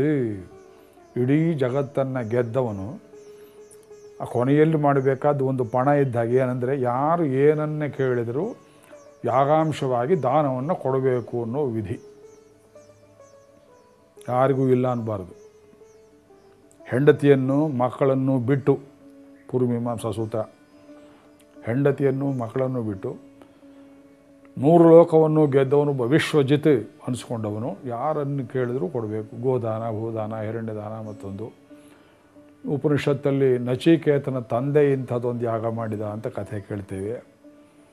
ಬಡಬ್ರಾಹ್ಮಣ ಎಲ್ಲೋ ಪುರೋಹಿತನಾಗಿದ್ದವನು ಕೂಡ ಹಾಕಿದ ಹಣದಿಂದ ಇನ್ನು ಹಾಲು ಕರೀದೆ ಕರು ಹಾಕದೇ ಇರುವ ಗೊಡ್ಡಾಕಳುಗಳನ್ನು ನಿರಿಂದಯ ದುಗ್ಧದೋಹ ಜಗ್ಧತೃಣಾಹ ಅಂಥ ನಿರುಪಯುಕ್ತ ಪದಾರ್ಥ ನಾನು ಮಾಡಿದೆ ಅಂತ ಮಾಡಿದ್ದನ್ನು ನೋಡಿ ಮಗನಿಗೆ ಬೇಜಾರಾಗಿ, ಒಂದಾದರೂ ಒಳ್ಳೆಯ ದಾನ ಮಾಡಲಿ ಅಂತ ಹುಡುಗ ಶಾಸ್ತ್ರ ಓದಿದ್ರು ನನ್ನನ್ನು ಯಾರಿಗೆ ದಾನ ಮಾಡ್ತೀಯ? ಅಂತ ಕೇಳಿದ. ಮಗನ ದಾನ ಮಾಡುವಾಗಿಲ್ಲ ಮೃತ್ಯುವಿಗೆ ಅಂತ ಅವನು ಕೋಪದಲ್ಲಿ ಹೇಳಿದ. ಅದು ಯಜ್ಞಭೂಮಿಯಲ್ಲಿ ಹೇಳಿದ ಮಾತು ನಿಜವಾಗಿ ಹುಡುಗ ಸತ್ತು ಯಮಲೋಕಕ್ಕೆ ಹೋಗಿ ಅಮೃತದ ಗುಟ್ಟನ್ನು ತಂದ. ಮೃತ್ಯುವಿನ ದವಡೆಯಿಂದ ಅಮೃತತ್ವದ ಗುಟ್ಟನ್ನು ತಂದ ಅನ್ನೋದು ಒಂದು ಕಥೆ. ಇದು ಅಮೃತ ಮಥನ ಕಥೆ. ಭಾಗವತದಲ್ಲಿ ಬರೋ ಇನ್ನೊಂದು ರೀತಿ. ಈ ಒಳಗಿನ ಮರ್ಮ, ವೈದಿಕ ಮರ್ಮ ನೋಡಿದರೆ ನಿಮಗೆ ಎಲ್ಲಿಂದ ಎಲ್ಲಿ ಕೂಡಿಸಿದ್ದಾರೆ ಋಷಿಗಳು ಅಂತ ಅನಿಸುತ್ತೆ. ಇದು ವಿಶ್ವಜಿತ್. ಇದು ಇವನ ಗರ್ವಕ್ಕೆ ಕಾರಣವಾಯಿತು. ಬಲಿಚಕ್ರವರ್ತಿ ತಪ್ಪಿದ್ದಲ್ಲಿ ಗರ್ವಕ್ಕೆ ಕಾರಣವಾಯಿತು. ನಾನು ಏನು ಬೇಕಾದ್ರೂ ಕೊಡ್ತೇನೆ.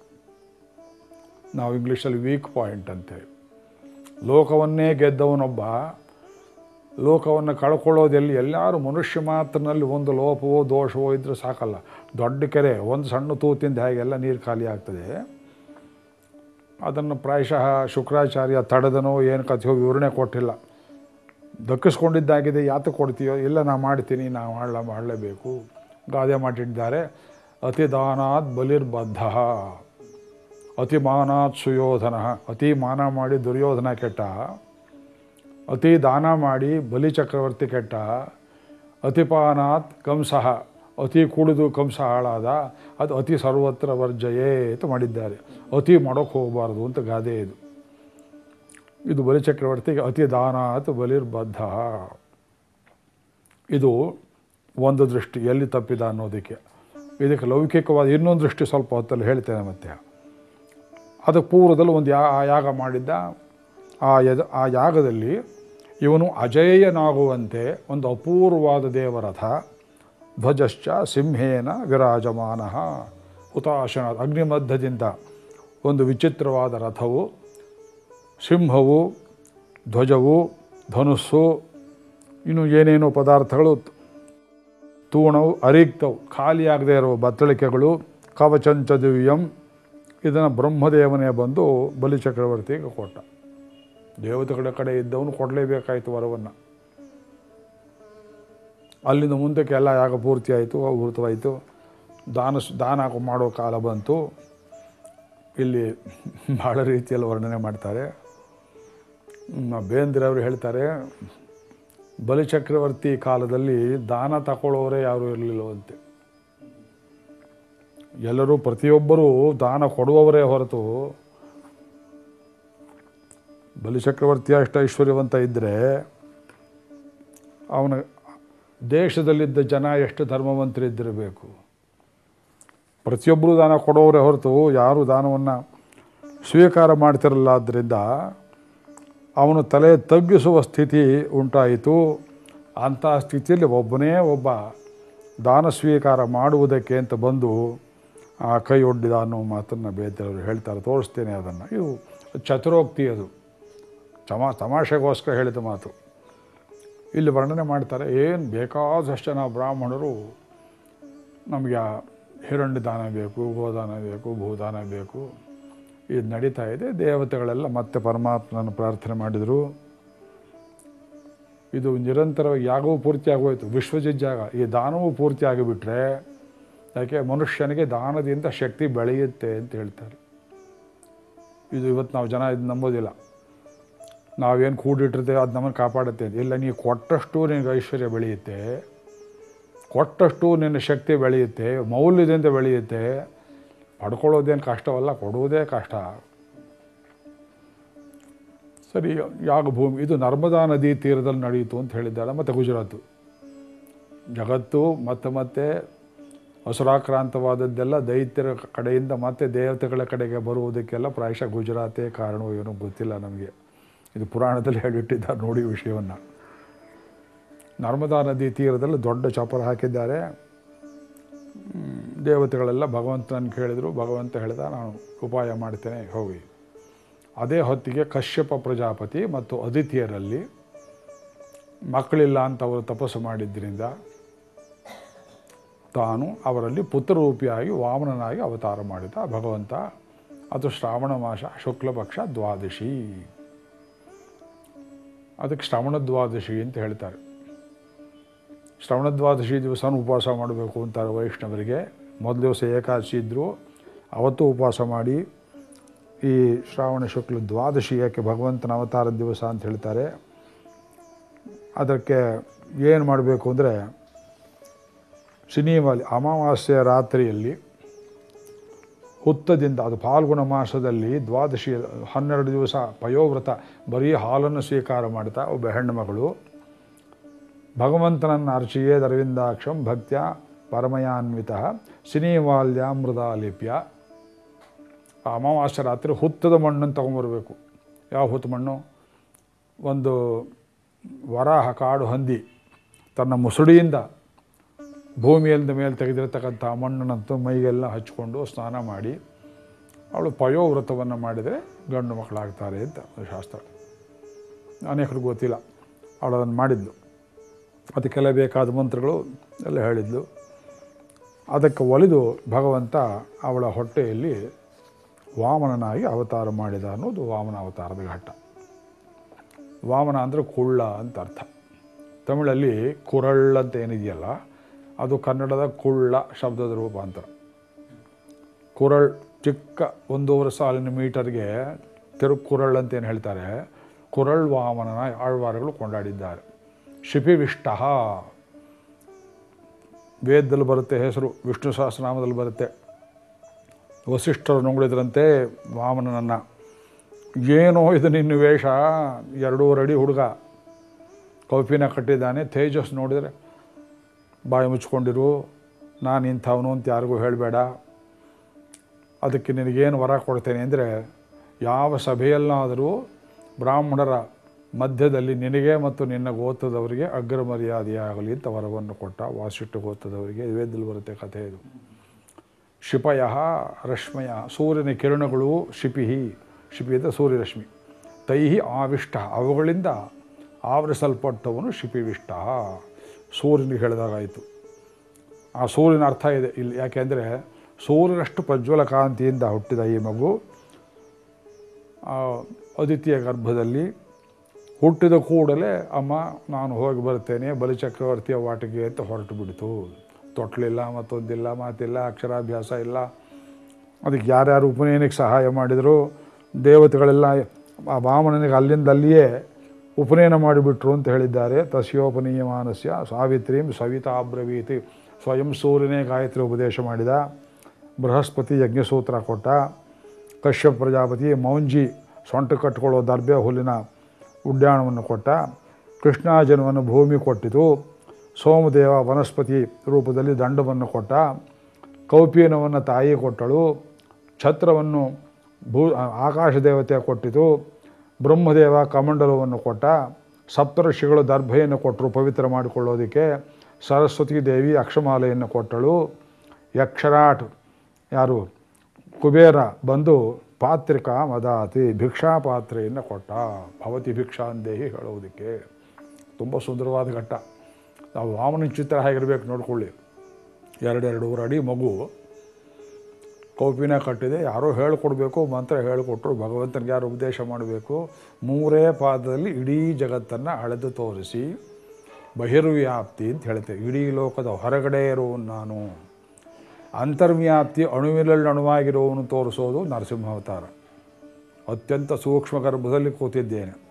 ಅಂತರ್ಬಹಿಶ್ಚ ತತ್ಸರ್ವಂ ವ್ಯಾಪ್ಯ ನಾರಾಯಣ ಸ್ಥಿತ.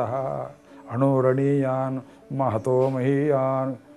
ಇದು ಅಣು ಅಣಿ ಅಣುವಿಗಿಂತ ಪರಮಾಣು ರೂಪದಲ್ಲಿದ್ದೇನೆ ಅಂತ ಪ್ರತಿಯೊಂದರಲ್ಲಿ ನರಸಿಂಹ. ಎಲ್ಲವನ್ನು ಮೀರಿ ನಿಂತಿದ್ದೇನೆ. ಅತ್ಯತಿಷ್ಠ ದಶಾಂಗುಲಂ, ಅದು ವಾಮನಾವತಾರ. ಅದು ತ್ರಿವಿಕ್ರಮನಾದ ರೂಪ. ಎರಡನ್ನು ಸೂರಿಸ್ಕೊಂಡ್ರೆ ನಾವು ಇದರ ಮಹಿಮೆಯಿಂದ ಭಗವಂತನ ವ್ಯಾಪ್ತಿ ವಿಷ್ಣು ಶಬ್ದಕ್ಕೆ ಅರ್ಥ ಪರಿಪೂರ್ಣ ಕೊಡುವುದು ವಾಮನಾವತಾರ. ಅದಕ್ಕಾಗಿ ಇದಂ ವಿಷ್ಣು ವಿಚಕ್ರಮೇ ತ್ರೇಧಾ ನಿದಧೇ ಪದಂ. ಮೂರೇ ಆವೃತ್ತಿ ಪ- ಪಾದಗಳಲ್ಲಿ ಭೂಮಿಯನ್ನೆಲ್ಲ ಅಳೆದು ಬಿಟ್ಟ ಇದೇನು ಆಶ್ಚರ್ಯ ಅಂತಾರೆ ಅದನ್ನು. ಇದಂ ವಿಷ್ಣು ವಿಚಕ್ರಮೇ, ಮೂರು ವಿಕ್ರಮ ಅಂದರು, ತೋರಿಸ್ತೇನೆ ಅರ್ಥವನ್ನು. ಅದು ಈ ಘಟ್ಟ ಬಂದು ಕೂಡಲೇ ಹೇಳ್ತೇನೆ.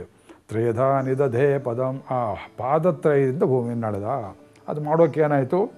ಈ ಉಪನಯನ ನಡೆಯಿತು. ನಾನು ಹೋಗಿ ಬರ್ತೇನೆ ಅಂತ ಒಡನೆಯೇ ಹೊರಟ. ಜೊತೆಯಲ್ಲಿ ಯಾರೂ ಇಲ್ಲ, ಏನೂ ಇಲ್ಲ. ಬಲಿಚಕ್ರವರ್ತಿ ಅಗ್ಗಿಮಾಟಿಗೆ ಬಂದರೆ ಅವನನ್ನು ಯಾರು ಕರೆಯೋರಿಲ್ಲ, ನೋಡೋರಿಲ್ಲ ಕೊಳ್ಳು ಹುಡುಗನನ್ನು. ನಿಮಗೆ ಇಲ್ಲಿ ಚಿತ್ರ ಕಣ್ಣಿಗೆ ಕಟ್ಟು ಹಾಕ್ಕೊಡ್ಬೇಕಲ್ಲ? ವೇದವ್ಯಾಸರು ಆ ಚಿತ್ರೀಕರಣದಲ್ಲಿ ಸ್ವಲ್ಪ ವಾಲ್ಮೀಕಿಗಳಿಗಿಂತ ಹಿಂದೆ. ಕಥೆ ಹೇಳಿಬಿಡ್ತಾರೆ, ತತ್ವ ಹೇಳಿಬಿಡ್ತಾರೆ. ವಾಲ್ಮೀಕಿ ಹಾಗೆ ಚಿತ್ರ ಮಾಡೋರು ಜಗತ್ತಲ್ಲಿಲ್ಲ. ಇದು ಇಲ್ಲಿ ಮುಂದೆ ಒಂದು ಕಡೆ ಇಲ್ಲಿ ಈ ಕೃಷ್ಣಾವತಾರದ ಕಂಸ ಸಂಹಾರವಾದ ನಂತರದ ಬರುವ ಭ್ರಮರಗೀತೆ ಅನ್ನೋ ಭಾಗದಲ್ಲಿ ಇದಕ್ಕೆ ಸಂಬಂಧಪಟ್ಟ ಭಾಗ ಹೇಳ್ತಾರೆ.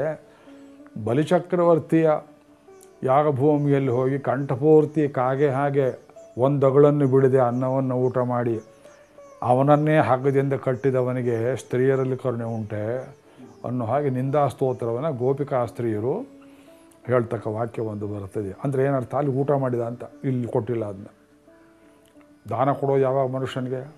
ಮೊದಲು ದಾನ ಕೊಟ್ಟ ಆಮೇಲೆ ಊಟ ಹಾಕೋಲ್ಲ. ಒಂದು ಕಡೆ ದಾನಶಾಲೆ ಚಿತ್ರ, ನೋಡಿ ಚಿತ್ರ ಬರೋದು ಹೇಗಿರುತ್ತೆ? ಒಂದು ಕಡೆ ಇದೆಲ್ಲ ತೋರಿಸೋದು ಕಷ್ಟ ಆಗುತ್ತೆ. ಒಂದು ಕಡೆ ಚಪ್ರ, ದಾನ, ವೈಭವ, ಜನ, ಕೂಗಾಟ, ಪಾತ್ರೆ, ಪರಟೆ, ಶಬ್ದ, ಎಲ್ಲರಿಗೂ ಬಂಗಾರ ತಟ್ಟೆ. ಬಡಿಸಿದ್ದು ನೀವೇ ತಗೊಂಡು ಹೋಗಿ ಅನ್ನೋರು ತಟ್ಟೆ ತೊಳೆಯೋ ಪ್ರಶ್ನೆ. ಇನ್ನೊಂದು ಕಡೆಯಲ್ಲಿ ಗೋದಾನ, ಇನ್ನೊಂದು ಕಡೆಯಲ್ಲಿ ಹಿರಣ್ಯದಾನ, ರಾಶಿ ರಾಶಿ. ಇವನು ಕೂತಿದ್ದಾನೆ, ಇವನು ಹೆಂಡತಿ, ವಿಂಧ್ಯಾವಳಿ.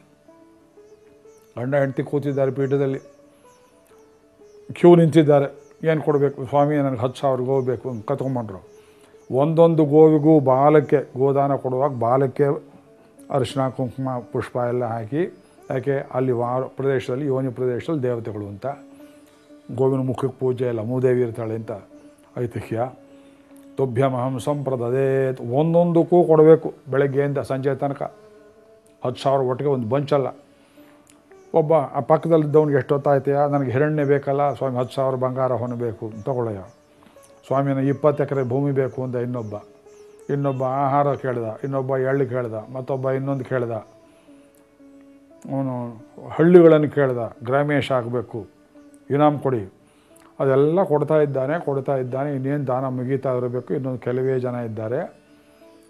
ಬಂದವರೆಲ್ಲ ಅಲ್ಲಿ ಭೋಜನ ಶಾಲೆಗೆ ಹೋಗಿ ಊಟ ಮಾಡಿಕೊಂಡು ತಾಂಬೂಲವನ್ನು ತಗೊಂಡು ಅಲ್ಲಿ ಭೂರಿ ದಕ್ಷಿಣೆ ತಗೊಂಡು ಇಲ್ಲಿ ದಾನಕ್ಕೆ ಬರ್ತಾ ಇದ್ದಾರೆ. ಈ ಕ್ರಮದಲ್ಲಿ ವಾಮನ ಅಲ್ಲಿ ಹೋಗಿ ಊಟ ಮಾಡಿದ್ದಾನೆ. ಎಲ್ಲ ಭೃಗವಂಶರು ಬ್ರಾಹ್ಮಣರು ಹಾಕ್ತಾ ಇದ್ದಾರೆ. ಚಿತ್ರ ಹೇಗಿದೆ ನೋಡಿರಿ, ತೆಗೆದರೆ. ಅಲ್ಲಿ ಬಂದು ಇಷ್ಟು ಜನ ನಿಂತಿದ್ದಾರೆ ಎಂಟಡಿ ನಾವು ಹೇಳು, ಯಾವ ಯುಗ ನೋಡ್ಕೊಳ್ಳಿ. ಅವರ ಮಧ್ಯದಲ್ಲಿ ಎರಡು ಅಡಿಯಲ್ಲಿ ಅವ್ರ ಕಾಲು ಸಂದಿಯಲ್ಲಿ ಮಗು, ವಾಮನ ಬಂದವನು ಕೈ ನೀಡಿದ. ಅವನು ನೋಡ್ದ ಬಲಿಚಕ್ರವರ್ತಿ. ಉಳಿದವ್ರನ್ನ ತಲೆ ಎತ್ತಿ ನೋಡುವುದಕ್ಕೆ ಟೈಮ್ ಇಲ್ಲ ಅವನಿಗೆ.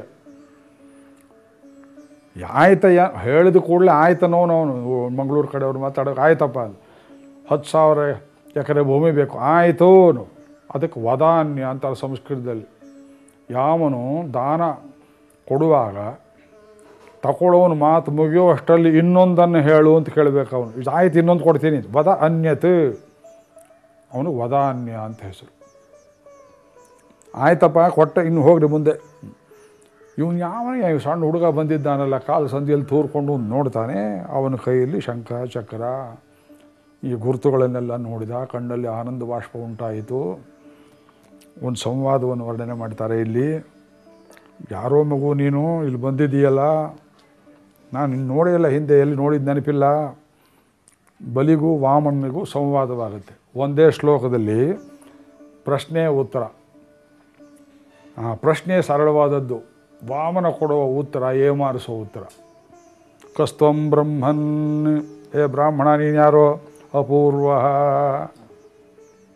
ಅಪೂರ್ವ ಅಂದರೆ ಹೊಸಬ ಅಂತ ಒಂದರ್ಥ. ಅಪೂರ್ವ. ನನಗೆ ಹಿಂದಿಲ್ಲ, ಮುಂದಿಲ್ಲ, ಅಪ್ಪ, ಅಮ್ಮ ಗೊತ್ತಿಲ್ಲ ಅಂತ ಒಂದರ್ಥ. ಅಥವಾ ನಾನೇ ಜಗತ್ತಿಗೆ ಪ್ರಥಮ, ನನಗಿಂತ ಹಿಂದೆ ಯಾರೂ ಇಲ್ಲ ಅಂತ ವೇದಾಂತ ಅರ್ಥ ನೋಡಿ ಹೇಗಿದೆ. ಕಸ್ತ್ವಂ ಬ್ರಹ್ಮನ್ ಅಪೂರ್ವ. ಕ್ವಚ ತವ ವಸತಿ. ಎಲ್ಲಿ ವಾಸ ಮಾಡ್ತೀಯೋ ನೀನು? ಯಾಖಿಲ ಬ್ರಹ್ಮ ಸೃಷ್ಟಿ. ಸ್ವಾಮಿ, ಎಲ್ಲಿಂದ ಬಂದ್ರಿ ಅಂತ? ಫುಟ್ಪಾತಲ್ಲಿದ್ದೇವೆ ಅಂದರೆ ಮನೆ ಇಲ್ಲ ಅಂತ ಒಂದರ್ಥ. ಇಡೀ ಬ್ರಹ್ಮಾಂಡವೇ ನನ್ನ ಮನೆ ಅಂದರೆ ವಾಸ ಮಾಡೋಕೆ ನನಗೊಂದು ಜಾಗ ಇಲ್ಲ ಅಂತ ಒಂದು ಅರ್ಥ ಮೇಲೆ. ಇಡೀ ಬ್ರಹ್ಮಾಂಡದಲ್ಲಿ ನಾನು ಇಲ್ಲದೆ ಇರೋ ಜಾಗ ಇಲ್ಲ. ಯಾಕಿಲ್ಲ ಬ್ರಹ್ಮ ಸೃಷ್ಟಿ. ಕಸ್ತೆ ತ್ರಾತ ನೀನು ಕಾಪಾಡೋರು ಯಾರು? ಪೇರೆಂಟ್ಸ್ ಯಾರು? ಗಾರ್ಡಿಯನ್ಸ್ ಯಾರು? ಅನಾಥ. ಇನ್ನು ಯಾರು ಕ್ವಚ ತವ ಜನಕಃ. ನಿಮ್ಮ ಅಪ್ಪ ಎಲ್ಲಿದ್ದಾನೆ? ನೈವತಾತಂ ಸ್ಮರಾಮಿ. ನನಗೆ ಅಪ್ಪನ ನೆನಪೇ ಇಲ್ಲ. ಯಾವ ಅವತಾರದಲ್ಲಿ ಯಾವ ಅಪ್ಪನನ್ನು ಕೇಳ್ತೀರಿ ಹಿಂದೆ ಅವನು. ದಶರಥ ಅನ್ಲೇ, ವಸುದೇವ ಅನ್ಲೇ, ಕಶ್ಯಪ ಅನ್ಲೇ, ಕಂಬ ಅಂತ ಹೇಳಲೆ. ಕಂಬ ತಾಯಿ ಆಯ್ತಲ್ಲ ಅವತಾರದಲ್ಲಿ? ಕಿಂತೆ ಭೀಷ್ಟಂ ದದಾನಿ. ನಿನ್ನ ಇಷ್ಟವೇನಯ್ಯ? ಏನು ಕೊಡಲಿ? ತ್ರಿಪದ ಪರಿಮಿತ ಭೂಮಿ. ನನ್ನ ಕಾಲಿನ ಅಳತೆಯಲ್ಲಿ ನಾನು ಅಳೆಯುವಂತೆ ಮೂರಡಿ ಭೂಮಿಯನ್ನು ಕೊಡು. ಇನ್ನೊಬ್ಬರ ಕಾಲ ಅಳತೆ ಬೇಡ. ತ್ರಿಪದ ಪರಿಮಿತ, ನೋಡಿ, ಅದರಲ್ಲಿ ಮೂರು ಹೆಜ್ಜೆ ಅಷ್ಟು ಸಾಕು ಅವನು. ಪರಿಮಿತ. ಮೂರು ಹೆಜ್ಜೆ ಮಿನಿಮಮ್ ಅಲ್ಲ. ನನ್ನ ಮೂರು ಹೆಜ್ಜೆ ಒಳಗೆ ಅಡಗುವಷ್ಟು ಭೂಮಿ. ಹ, ಅತ್ಯಲ್ಪಮೇತತ್. ಅಲ್ಲಿ ಬಂತ ಅಹಂಕಾರ. ಛೀಂದ ಹೋ ಬ್ರಾಹ್ಮಣದಾಯಾದ. ವಾಚಸ್ತೆ ವೃದ್ಧ ಸಮ್ಮತ ಭಾಗವತದಲ್ಲಿ ಹೇಳ್ತಾರೆ. ಬ್ರಾಹ್ಮಣ, ಬ್ರಾಹ್ಮಣನ ಬಂಧು ಅಂತ ಹೇಳ್ಕೊಳ್ತೀಯ ದಾನ ಕೇಳೋಕೆ ಬರೋಲ್ವಲ್ಲೋ ನಿನಗೆ? ಬ್ರಾಹ್ಮಣರಾದ್ರೆ ಬೆಗರ್ಸ್ ಅಲ್ವೇನೋ ಭಿಕ್ಷುಕರಲ್ವೇನೋ? ದಾನ ಕೇಳಿದ್ರೆ ಹ್ಯಾ ಕೇಳಿರಬೇಕು ನನ್ನ ಮೊಮ್ಮಗನ ಮೊಮ್ಮಗ ಬಂಗಾರ ತೊಟ್ಲಲ್ಲಿ ಮಲಗಬೇಕು ಅಂತ ಕೇಳ್ಕೊಂಡ್ರೆ ಅಷ್ಟು ದಿವಸ ಆಯುಷ್ಯ, ಅಷ್ಟು ಐಶ್ವರ್ಯ, ಒಂದರಲ್ಲಿ ಅಲ್ಲ ಕೇಳಬೇಕು. ನೀನು ಕೇಳೋಕ್ಕೂ ಬರೋಲ್ವಲ್ಲೋ? ಅದು ಹೇಳ್ದ, ಇಷ್ಟು ಕೊಡು, ನೋಡೋಣ ಆಮೇಲೆ ಮುಂದಕ್ಕೆ. ಬ್ರಾಹ್ಮಣರಿಗೆ ಸಂತುಷ್ಟಿಯೇ ತೃಪ್ತಿ. ಅದೇ ಭೂಷಣ.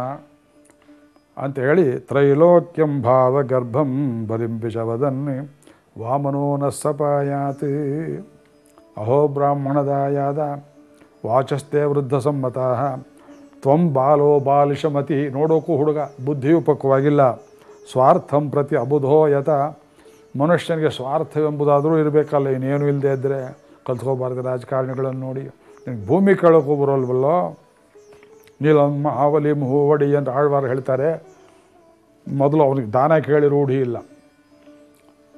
ಬಲಿಗೆ ಅವನು ಭಿಕ್ಷೆ ಕೊಟ್ಟು ರೂಢಿ ಇಲ್ಲ. ಇವನು ಬಲಿ ಭಿಕ್ಷೆ ತಗೊಂಡು ರೂಢಿ ಇಲ್ಲ ಪರಮಾತ್ಮನಿಗೆ. ಏನು ಬೇಕು ಅಂತ ಕೇಳಿದ್ರೆ ನೀಲಂ ನೀಲಂ, ಟೆಲಿಗೆ ಒಂದೇ ಶಬ್ದ. ಭೂಮಿ ಭೂಮಿ ಭೂಮಿ. ಬಲಿ. ಯಾರನ್ನು ಕೇಳ್ತೀವಿ ಅಂತ ಅತ್ಲಾಗ ಗಿತ್ಲಾಗಿ ನೋಡ್ದ. ಮಹಾಬಲಿ ಮಹಾಬಲಿ ನಿನ್ನನ್ನೇ ಕೇಳ್ತಾ ಇರೋದು. ಹಾಂ? ಚಕ್ರವರ್ತಿ ಹತ್ತಿರ ಬಂದು ನಿನ್ನ ಕುಳ್ಳಾದ ಮೂರು ಪಾದದಲ್ಲಿ ಹೆಜ್ಜೆ ಕೇಳಿ ನಾಚಿಕೆ ಆಗೋದಿಲ್ಲ. ಅವಮಾನ ಮಾಡ್ತಾ ಇದೆಯಾ ನನಗೆ? ಮೂವಡಿ ಜಲ ಮಾವಲಿ ಮೂವಡಿ. ಹೇಳಿದ್ದು ಮೂರು ಶಬ್ದ. ಅಳೆದಿದ್ದು ಮೂರು ಹೆಜ್ಜೆಯಲ್ಲಿ ಅದೇ ವಿಕ್ರಮ ತ್ರಿವಿಕ್ರಮ. ಮೂರು ಶಬ್ದದಲ್ಲಿ ಮೂರು ಲೋಕಗಳನ್ನು ಅಳೆದು ಬಿಟ್ಟ ಇದು ತ್ರಿವಿಕ್ರಮ. ಆಗ ಬಂದ ಶುಕ್ರಾಚಾರ್ಯ, ಈ ಕಥೆ ಇಲ್ಲಿ ಹೇಳ್ತಾರೆ, ಬೇರೆ ಪುರಾಣಗಳು ಹೇಳ್ತಾರೆ. ಕಿವಿಯಲ್ಲಿ ಹೇಳ್ದ ಭಾಷಣ ಮಾಡ್ತಾರೋ ರಾಜಕಾರಣಿಗಳು ಚೀಟಿ ತಂದು ಕೊಡೋರು ಹಾಗೆ ಲೈ ಬಂದಿರೋವನು ಸರ್ವನಾಶ ಮಾಡಿಬಿಡ್ತಾನೆ ನಿನಗೆ ಅವನು ವಿಷ್ಣು. ಅವನಿಗೆ ದಾನ ಕೊಡೋಕೆ ಹೋಗ್ತೀಯಲ್ಲೋ ಏನು ಬುದ್ಧಿ? ಮೊದಲೇ ಬೇಡ ಅಂದೆ ಯಾಗ. ನಿನ್ನ ಅಹಂಕಾರ ಏನಾಗುತ್ತೆಯೋ ಅಂತ ಹೇಳಿದ್ರೆ ಬಲಿಚಕ್ರವರ್ತಿಯ ಕಣ್ಣು ಹಿಗ್ಗಿತು, ಆನಂದ ಬಾಷ್ಪ ಉಂಟಾಯಿತು. ಬಂದಿರೋವನು ಭಗವಂತನೇ ದಾನ ಕೇಳ್ತಾ ಇದ್ದಾನೆಯೇ ಅವನ ಕೈ ಕೆಳಗೆ ನನ್ನ ಕೈ ಮೇಲಿರುವಂತೆ ನಾನು ದಾ ದಾನ ಕೊಟ್ಟರೆ ನನ್ನಂಥ ಭಾಗ್ಯವಂತರು ಯಾರುಂಟು ಲೋಕದಲ್ಲಿ ಕೊಟ್ಟೇ ತೀರ್ತೀರಿ ಅಂತ ಹೇಳಿದಾಗ, ಅವನ ಹೆಂಡತಿ ಇದಕ್ಕೆ ಶಾಬಾಸ್ ಅಂತಾಳೆ. ಆಮೇಲೆ ದಾನ ಆಯ್ತಪ್ಪ, ಕೊಟ್ಟೆ ಅಂದರೆ ಇಲ್ಲ ಇಲ್ಲ, ಉದಕಪೂರ್ವಕವಾಗಿ ಕೊಡಬೇಕು ಕೈ ನೀರು ತೀರ್ಥ ಹಾಕಿ ಅಂತ ತುಭ್ಯಂ ಸಂಪ್ರದಾಯ ಉದ್ದಣಿಯಿಂದ ಹಾಕಬೇಕಲ್ಲ. ಬಂಗಾರದ ಗಿಂಡಿ ಬಲಿಚಕ್ರವರ್ತಿ ದಾನ ಕೊಟ್ಬಿಡ್ತಾನಲ್ಲ ಅನ್ನೋ ಸಂಕಟಕ್ಕೆ ಶುಕ್ರಾಚಾರ್ಯ ಆ ಗಿಂಡಿಯ, ಆ ತೂವಿನಲ್ಲಿ ಹೋಗಿ ಕೂತ್ಕೊಳ್ತಾನೆ, ನೀರು ಬರದೇ ಇರೋ ಹಾಗೆ. ದುರ್ಬುದ್ಧಿ ನೋಡಿ. ಮಿನಿಸ್ಟರ್ ಸ್ಯಾಂಕ್ಷನ್ ಮಾಡಿದ್ರು, ಆಫೀಸ್ ಕ್ಲಾರ್ಕ್ಗಳು ಮಾಡೋ ಕೆಲಸ ಮಾಡುವಾಗಿದ್ವಾಗ ಅದಕ್ಕೆ ಶುಕ್ರ ಬುದ್ಧಿಗೆ ಅಂದಿಗೆ ಒಕ್ಕಣ್ಣು ಅಂತಾರೆ. ಬೇಂದ್ರೆ ಅವರು, ಶುಕ್ರನಿಗೆ ಒಕ್ಕಣ್ಣಲ್ಲ, ಶುಕ್ರ ಬುದ್ಧಿ ಅಂದರೆ ಒಕ್ಕಣ್ಣಿನ ಬುದ್ಧಿ, ಸ್ವಾರ್ಥ ನೋಡುವುದು ಅಂತ. ಆಮೇಲೆ ಬಗ್ಗಿಸ್ತಾ ಬಗ್ಗಿಸ್ತಾ ನೀರು ಬರಲಿಲ್ಲ. ದಾನ ಕೊಡೋನು ಕೊಡ್ತಾ ಇದ್ದಾನೆ ಕಲಶದಲ್ಲಿ ನೀರು ತುಂಬಿದೆ. ಬರ್ತಾ ಇಲ್ಲ, ವಾಮನ ನೋಡಿದ. ಓಹೋ, ನೀರು ಬರ್ತಾ ಇಲ್ವಲ್ಲ, ಏನೋ ಸಿಕ್ಕಿದೆ ಅಂತ ಕಾಣುತ್ತೆ ಅಂತ ಕ್ಲೀನ್ ಮಾಡಬೇಕು ಅಂತ ಕೈಯಲ್ಲಿ ಪವಿತ್ರ ಹಾಕ್ಕೊಂಡಿದ್ನಲ್ಲ ದರ್ಬೆ ಅದರ ತುದಿಯಿಂದ ಚುಚ್ಚಿದ ಈ ಕಡೆಯಿಂದ. ಚುಚ್ಚಿದರೆ ಶುಕ್ರಾಚಾರ್ಯನ ಕಣ್ಣು ಹೊಯ್ದಲ್ಲಿ ಕೂತಿದ್ನು. ಅಲ್ಲಿಂದ ಎದ್ದು, ಅಯ್ಯೋ, ಸತ್ತೆ ಕೆಟ್ಟ ಅಂತ ಅವನು ಕಿರಿಚ್ಕೊಂಡು ಹೋದ. ಅವನ ಕಣ್ಣು ಹೋಯಿತು. ಕೊಡಬೇಡ ಅಂದವನು ಕಣ್ಣು ಹೋಯಿತು. ಒಬ್ಬರು ದಾನ ಕೊಡುವಾಗ ಯಾರು ಕೊಡಬೇಡ ಅಂತಾರೆ. ಅವನ ಕಣ್ಣು ಹೋಯಿತು. ಆ ತೀರ್ಥ ಪತಿತೇ ತೋಯೇ ಕೈಯಲ್ಲಿ ನೀರು ಬಿದ್ದು ಕೂಡಲೇ ವಾಮನೋಭೂತ ವಾಮನಃ ಇಡೀ ಭೂಮಂಡಲವನ್ನು ಒಂದು ಪಾದದಿಂದ ಅಳೆದನಂತೆ. ಎಷ್ಟು ಸೂಕ್ಷ್ಮವಾಗಿ ಅಂದರೆ ಪ್ರತಿಯೊಬ್ಬರ ತಲೆ ಮೇಲೆ ಪುಷ್ಪಸ್ಪರ್ಶವಾಗುವಂತೆ.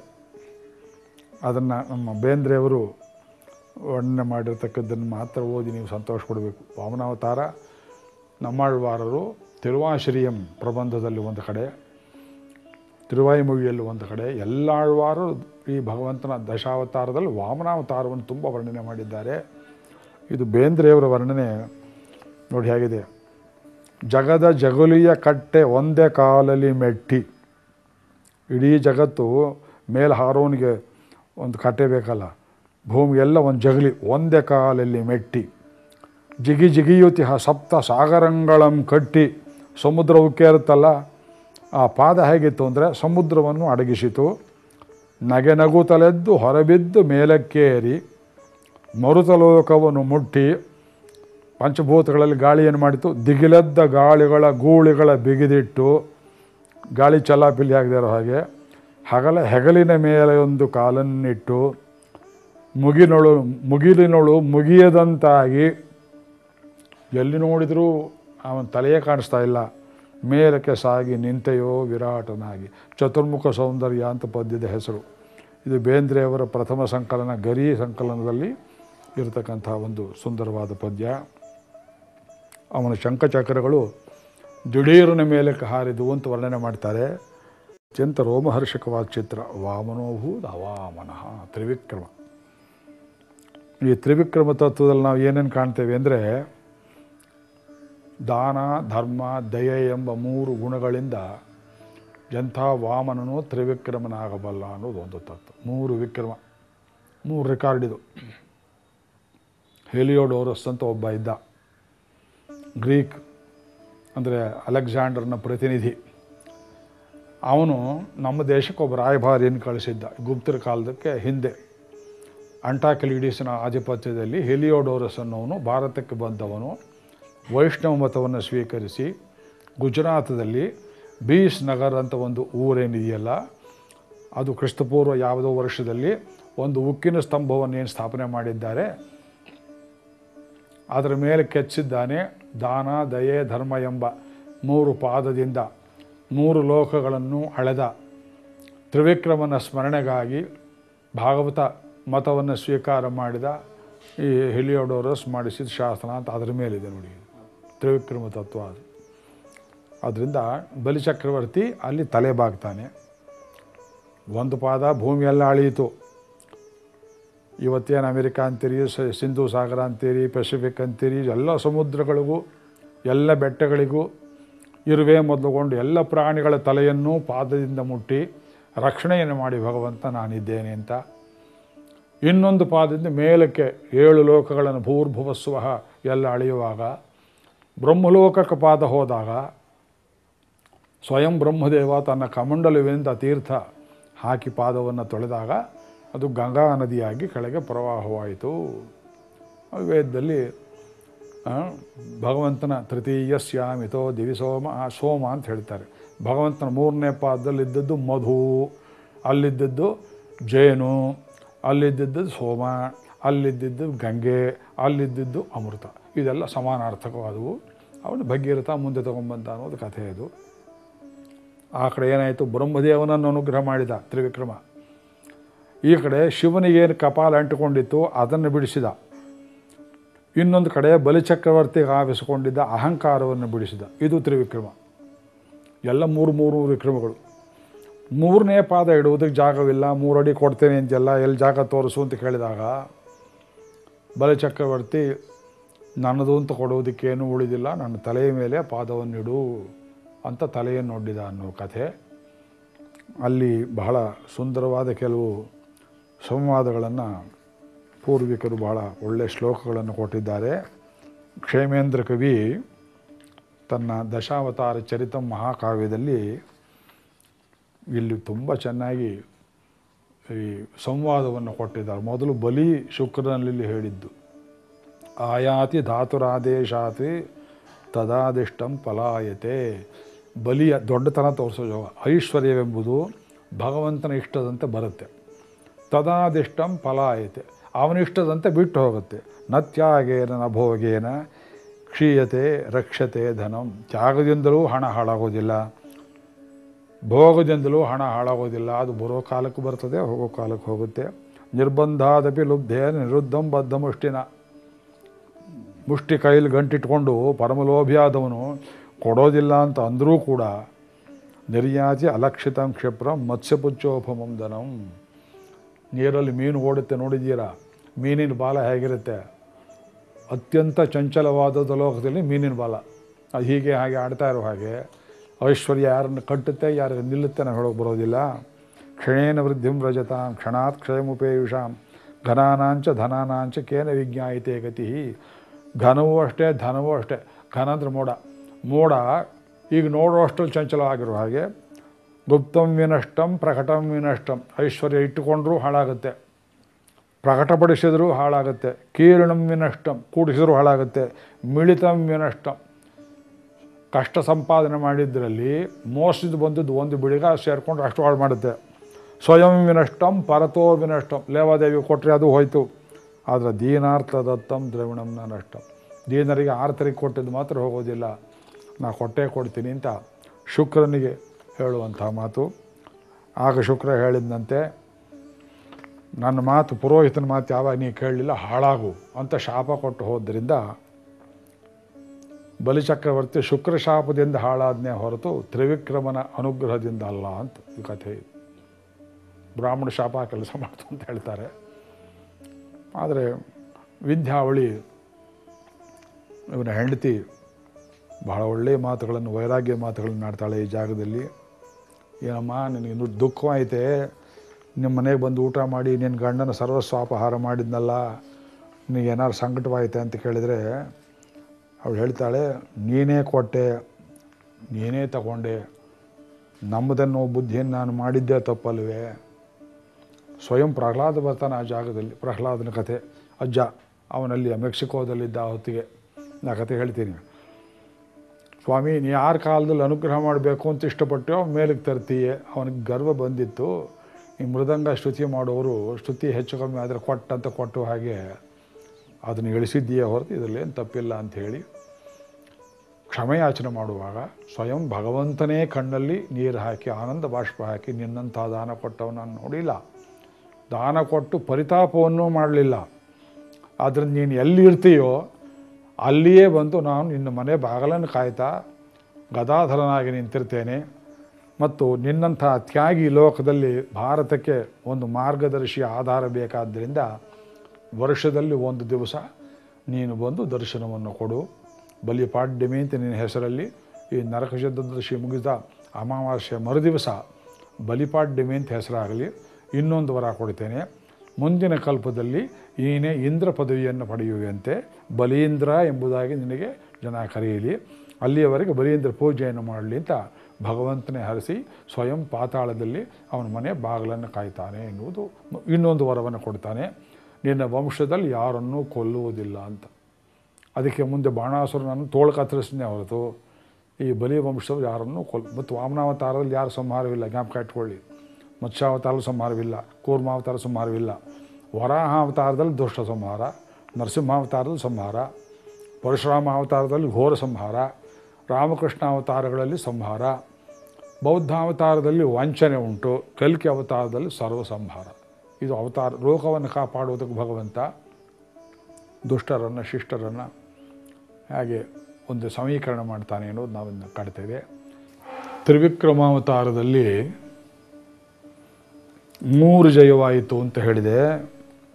ಬ್ರಹ್ಮಜಯ ಶಿವಜಯ ಬಲಿಜಯ ಇದರಲ್ಲಿ ಶಿವಜಯ ಹೇಗೆ? ಅದು ಬ್ರಹ್ಮ ಕಪಾಲದ ಕಥೆ ಹೇಳಬೇಕು. ಇದು ಮತ್ತೊಂದು ಪುರಾಣದಲ್ಲಿ ಬರೋ ಕಥೆ. ಹಿಂದೆ ಚತುರ್ಮುಖ ಬ್ರಹ್ಮ ಅಂತ ಇವತ್ತೇನು ನಾಲ್ಕು ತಲೆ ಬ್ರಹ್ಮನನ್ನು ಹೇಳ್ತೇವೆ. ಇವನಿಗೂ ಐದು ತಲೆ ಇತ್ತು.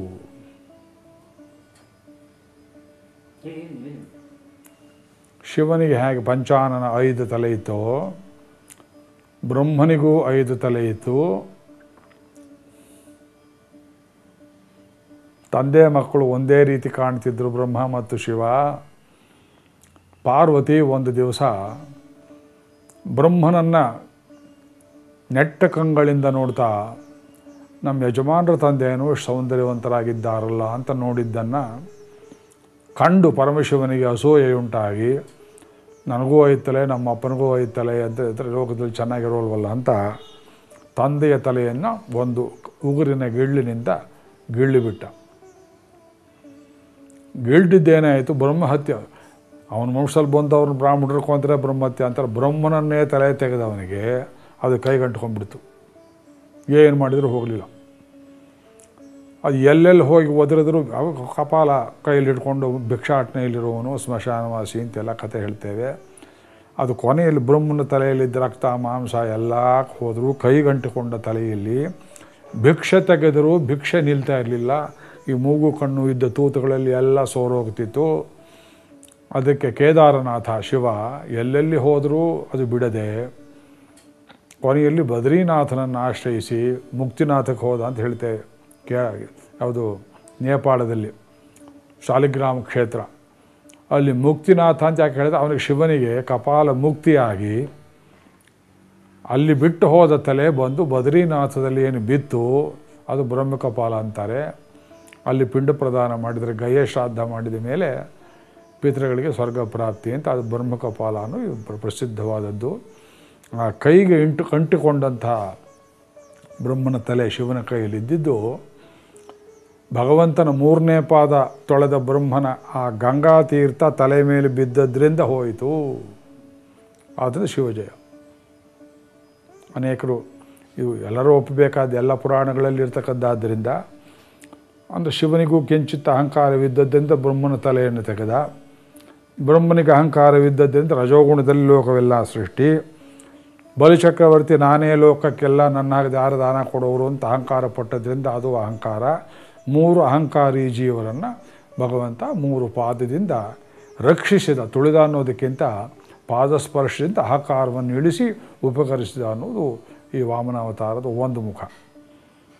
ಪಾತಾಳಕ್ಕೆ ತುಳಿದ ಅಂತ ಹೇಳ್ತೀವಲ್ಲ, ಅದ್ರ ಕಥೆ ಹೇಳಬೇಕು. ನೀನು ಎಲ್ಲಿದ್ದರೂ ನಾನೇನು ರಕ್ಷಣೆಯನ್ನು ಬಿಡೋದಿಲ್ಲ ಅಂತ ಭಗವಂತ ಹೇಳಿದ. ಕೊಟ್ಟವು ನೀನೇ ಕಿತ್ಕೊಂಡವು ನೀನೇ ನಂದೇನು ಹೋಗಲಿಲ್ಲ ಅನ್ನೋ ಅಹಂಕಾರ ಪೂರ್ತಿ ಬಿಟ್ಟು ಹೊರತು ಬಲಿಗೆ ಕ್ಷೇಮವಾಗಲಿ ಅಹಂಕಾರವನ್ನು ತೆಗೆಯೋದಕ್ಕೆ ಹಾಗೆ ಮಕ್ಕಳ ಕಾಲಿಗೆ ಮುಳ್ಳು ಚುಚ್ಚಿದರೆ ತಾಯಿ ಮುಳ್ಳು ತೆಗೆಯೋದು ಮಕ್ಕಳಿಗೆ ಉಪಕಾರವೋ? ನೋಡೋಕ್ಕೆ ಆ ಮಗು ಹೇಳುತ್ತೆ, ಮೊದಲೇ ಮುಳ್ಳು ಚುಚ್ಚಿದೆ, ನೀನು ಸೂಜಿ ಬೇರೆ ತಂದು ಚುಚ್ಚಲ್ಲ ಅಂತ ಕೇಳಿದರೆ, ಸೂಜಿ ಚುಚ್ಚುವುದು ಮುಳ್ಳನ್ನು ತೆಗೆಯೋದಕ್ಕೆ ಹೊರತು ಮಗು ನೋವು ಮಾಡಬೇಕು ಅಂತಲ್ಲ.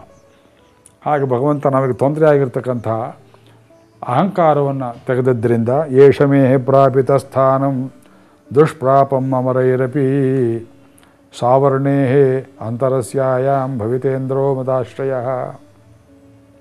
ಇನ್ನೊಬ್ಬರು ಪಡೆಯದೇ ಇರುವಂಥ ದೇವತೆಗಳಿಗೂ ಅಸಾಧ್ಯವಾದ ಸ್ಥಾನವನ್ನು ಕೊಟ್ಟಿದ್ದೇನಪ್ಪ ನಿನಗೆ ಬಲಿ. ಸಾವರ್ಣಿ, ಮೇರು ಸಾವರ್ಣಿ, ಅವನಿಗೆ ನಂತರ ನೀನು ಮುಂದೆ ಭವಿತ ಇಂದ್ರ. ನೀನು ಇಂದ್ರ ಪದವಿಗೆ ಬರ್ತೀಯೇ? ಅಲ್ಲಿ ತನಕ ತಾವತ್ ಸುತಲ ಮಧ್ಯಾಸ್ತಾಂ ಸುತಲಕ್ಕೆ ಹೋಗು ಅತಲ ವಿತಲ ಸುತಲ ಹೇಳ್ತೇವಲ್ಲ, ಆ ಪಾತಾಳಗಳಲ್ಲಿ ಸಪ್ತ ಪಾತಾಳಗಳಲ್ಲಿ ಸೂತಲದಲ್ಲಿರು. ವಿಶ್ವಕರ್ಮ ವಿನಿರ್ಮಿತಂ ಅಲ್ಲಿ ಎನ್ ಆಧಯ, ವ್ಯಾಧಯ ಅಕ್ಲಮ ತಂದ್ರ, ಪರಾಭವ. ನ ಉಪಸರ್ಗಾ ನಿವಸತಾಂ. ಸಂಭವಂತಿ ಮಮೇಕ್ಷಯ. ಆಧಿ, ವ್ಯಾಧಿ ವ್ಯಾಧಿ ಅಂದರೆ ಶರೀರಕ್ಕೆ ಬರೋ ರೋಗ. ಆಧಿ ಅಂದರೆ ಜನ್ಮಾಂತರದಿಂದ ಆತ್ಮಕ್ಕೆ ಅಂಟಿಕೊಂಡು ಬರೋ ರೋಗ. ವೈದ್ಯರು ಶರೀರ ರೋಗ ಗುಣ ಮಾಡ್ತಾರೆ. ಇವು ಮಾನಸಿಕ ವಿಕ್ಷಿಪ್ತತೆ, ಮನೋರೋಗಗಳಿರ್ತಾವಲ್ಲ, ಅದು ಆದಿ ಕ್ಲಮ ಅಂದರೆ ಆಯಾಸ, ತಂದ್ರ ಅಂದರೆ ಸೋಮಾರಿತನ, ಪರಾಭವ ಅಂದರೆ ಸೋಲು, ಉಪಸರ್ಗ ಅಂದರೆ ಏನೋ ಮಾಡೋಕ್ಕೆ ಹೋಗ್ತಾನೆ, ಇನ್ನೇನೋ ಒಂದು ಅಂಟುಕೊಳ್ಳು, ಐಶ್ವರ್ಯ ಪ್ರಾಪ್ತಿ ಆದರೂ ಅದು ಕೈಯಲ್ಲಿ ದಕ್ಕೋದಿಲ್ಲ. ಇಂಥ ಯಾವ ತೊಂದರೆಗಳು ಇಲ್ಲದೇ ಇರುವ ಸುತಲದಲ್ಲಿ ನೀನು ವಾಸ ಮಾಡುವೆಯಂತೆ. ಯಾಕೆ? ಮಮ ಈಕ್ಷ ನಾನು ಇನ್ನು ನೋಡ್ತಾ ಇರ್ತೇನೆ, ಬಾಗಿಲಲ್ಲಿ ನಿಂತ್ಕೊಂಡು. ತ್ವಚ್ಛಾಸನಾತಿಗತಾನ್ ದೈತ್ಯ ನಿನ್ನ ಅಪ್ಪಣೆಯನ್ನು ಮೀರಿದ ದೈತ್ಯರನ್ನು ಚಕ್ರಮ್ಮೆ ಸೋದಯಿಷ್ಯತಿ ನಿನ್ನ ಮನೆ ಬಾಗಿಲಿಗೆ ನಾನು ಚಕ್ರ ರಕ್ಷಣೆಯಾಗಿಟ್ಟಿರ್ತೇನೆ ಅಂತ ಭಗವಂತನೇ ಹೇಳಿ ಶರಣಾಗತನ ಭಾಗ್ಯ ಕೊಂಡಾಡ್ತಾನೆ ಅಂತ ಪುರಾಣದಲ್ಲಿ ಹೇಳ್ತಾರೆ. ಇಲ್ಲಿ ನಾವು ಭೌಗೋಳಿಕ ಐತಿಹಾಸಿಕವಾಗಿಯೂ ಕಂಡುಕೊಳ್ಳಬೇಕಾದ ತತ್ವ ಹೊಂದಿದೆ ಮೊದಲು ಹೇಳಿದೆ, ಇಡೀ ಜಗತ್ತು ಭಾರತೀಯರ ವಶದಲ್ಲಿತ್ತು. ಅತ್ಯಂತ ಹಳೆಯ ಸಂಸ್ಕೃತಿ, ಭಾರತೀಯ ಸಂಸ್ಕೃತಿ, ಅನಾದಿಯಾದದ್ದು.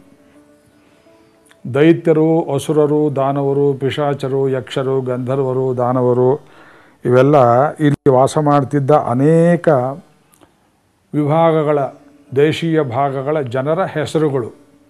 ಈಗ ತಮಿಳುನಾಡು ಅಂತ ಕರೆಯೋ ಜಾಗದಲ್ಲಿ ಪಿಶಾಚರಿದ್ದರು ಈಗ ಬಂಗಾಳ, ಅಸ್ಸಾಂ ಅಂತ ಹೇಳೋ ಜಾಗದಲ್ಲಿ ಕಿನ್ನರರು, ವಿದ್ಯಾಧರರು ಇದ್ದರು ಇವತ್ತು ಗಾಂಧಾರ, ಕಾಬೂಲ್, ಕಾಂಧಾರ್, ಆಫ್ಘಾನಿಸ್ತಾನ್ ಹೇಳೋ ಜಾಗದಲ್ಲಿ ಗಂಧರ್ವರಿದ್ದರು ನಮ್ಮ ಕರಾವಳಿ ಪ್ರದೇಶದಲ್ಲಿ ನಾಗರಿದ್ದರು ಹಾಗೆ ದೈತ್ಯರು.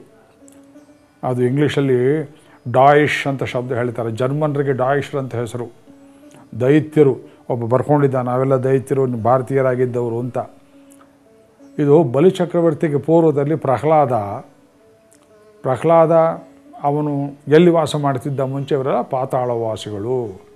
ಅಂದರೆ ಒರಿಜಿನಲಿ ಫ್ರಮ್ ಈ seven great places near what you call Latin America of today ಇವತ್ತು ಯಾವುದಕ್ಕೆ ಲ್ಯಾಟಿನ್ ಅಮೇರಿಕಾ ಅಂತ ಹೇಳ್ತೀರಿ, ಅಲ್ಲೇ ವಾಸ ಮಾಡ್ತೀವಿ ಒರಿಜಿನಲ್ ಇಲ್ಲಿಂದ ಹೋಗಿ ಡಾಮಿಸೈಲ್ ಆಗಿದ್ದವರು.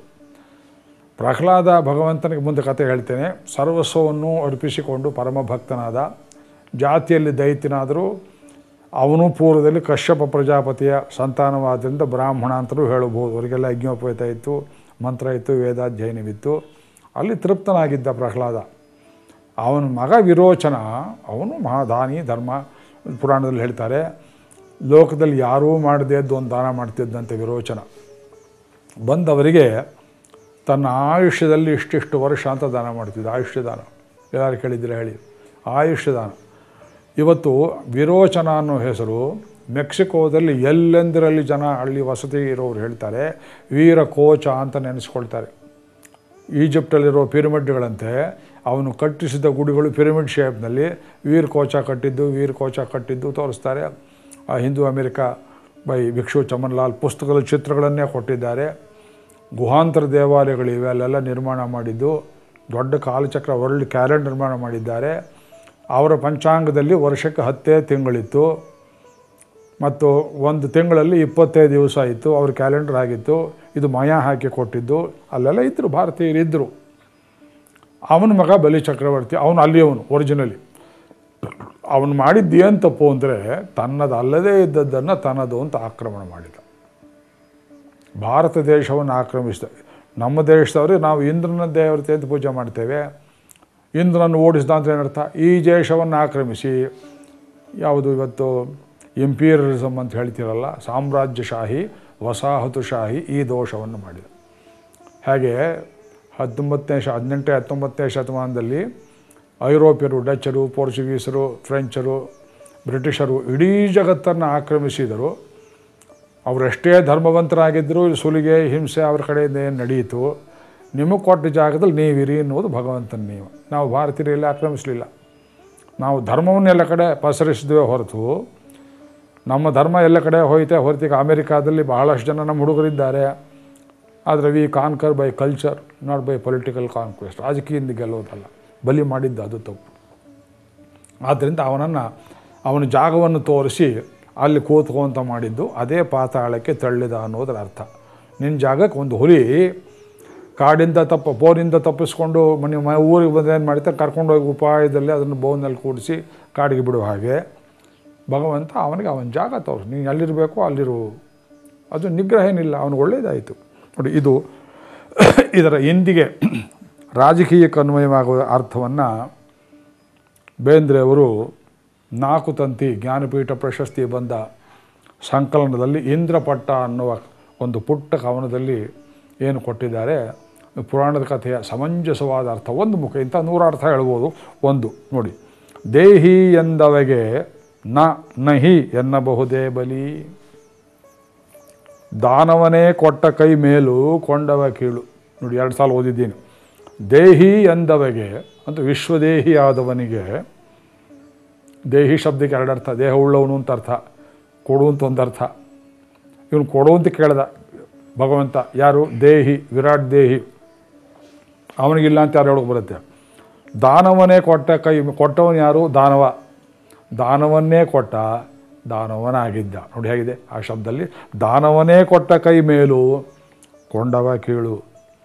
ಅಣುವನ್ನು ತುಂಬಿ ಮಹಿಮೆಯ ಮಿಕ್ಕಿ ನಿಂತ ಕಲಿ ಆಳ ಎತ್ತರ ಸುತ್ತ ಮೈಯ ಮಾಡುವ ಆಳು. ಅಣುರಣೀಯಾನ್ ಮಹತೋ ಮಹೀಯಾನ್. ಬೇಂದ್ರೆ ಅವರು ಕವನ ಯಾತಕ್ಕೆ ಕಷ್ಟ ಆಗುತ್ತೆ ವೇದ ಗೊತ್ತಿದ್ರೆ ಅರ್ಥವಾಗುತ್ತೆ.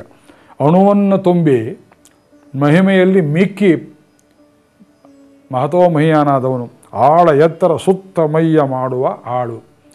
ಲೋಕವನ್ನು ಆಳುವವನು, ಬಲಿಯನ್ನು ಮಾಡುವ ಆಳು, ಹಾಳಲ್ಲ. ಅವನನ್ನು ಆಳು ಮಾಡಿದ. ಏನಾಯಿತು? ಕೊಡಬೇಡ ಅಂದವನು. ಶುಕ್ರ ನೀತಿಯ ನುಡಿಗೆ ಅಂದಿಗೆ ಒಕ್ಕಣ್ಣು ಅವತ್ತಿಗೆ ಒಂದು ಕಣ್ಣಾಯಿತು. ಮುಕ್ಕಣ್ಣ ಮೇಲ್ಮೈಲಿ ಚಲುವ ಕಾಣದ ಕುರುಡು.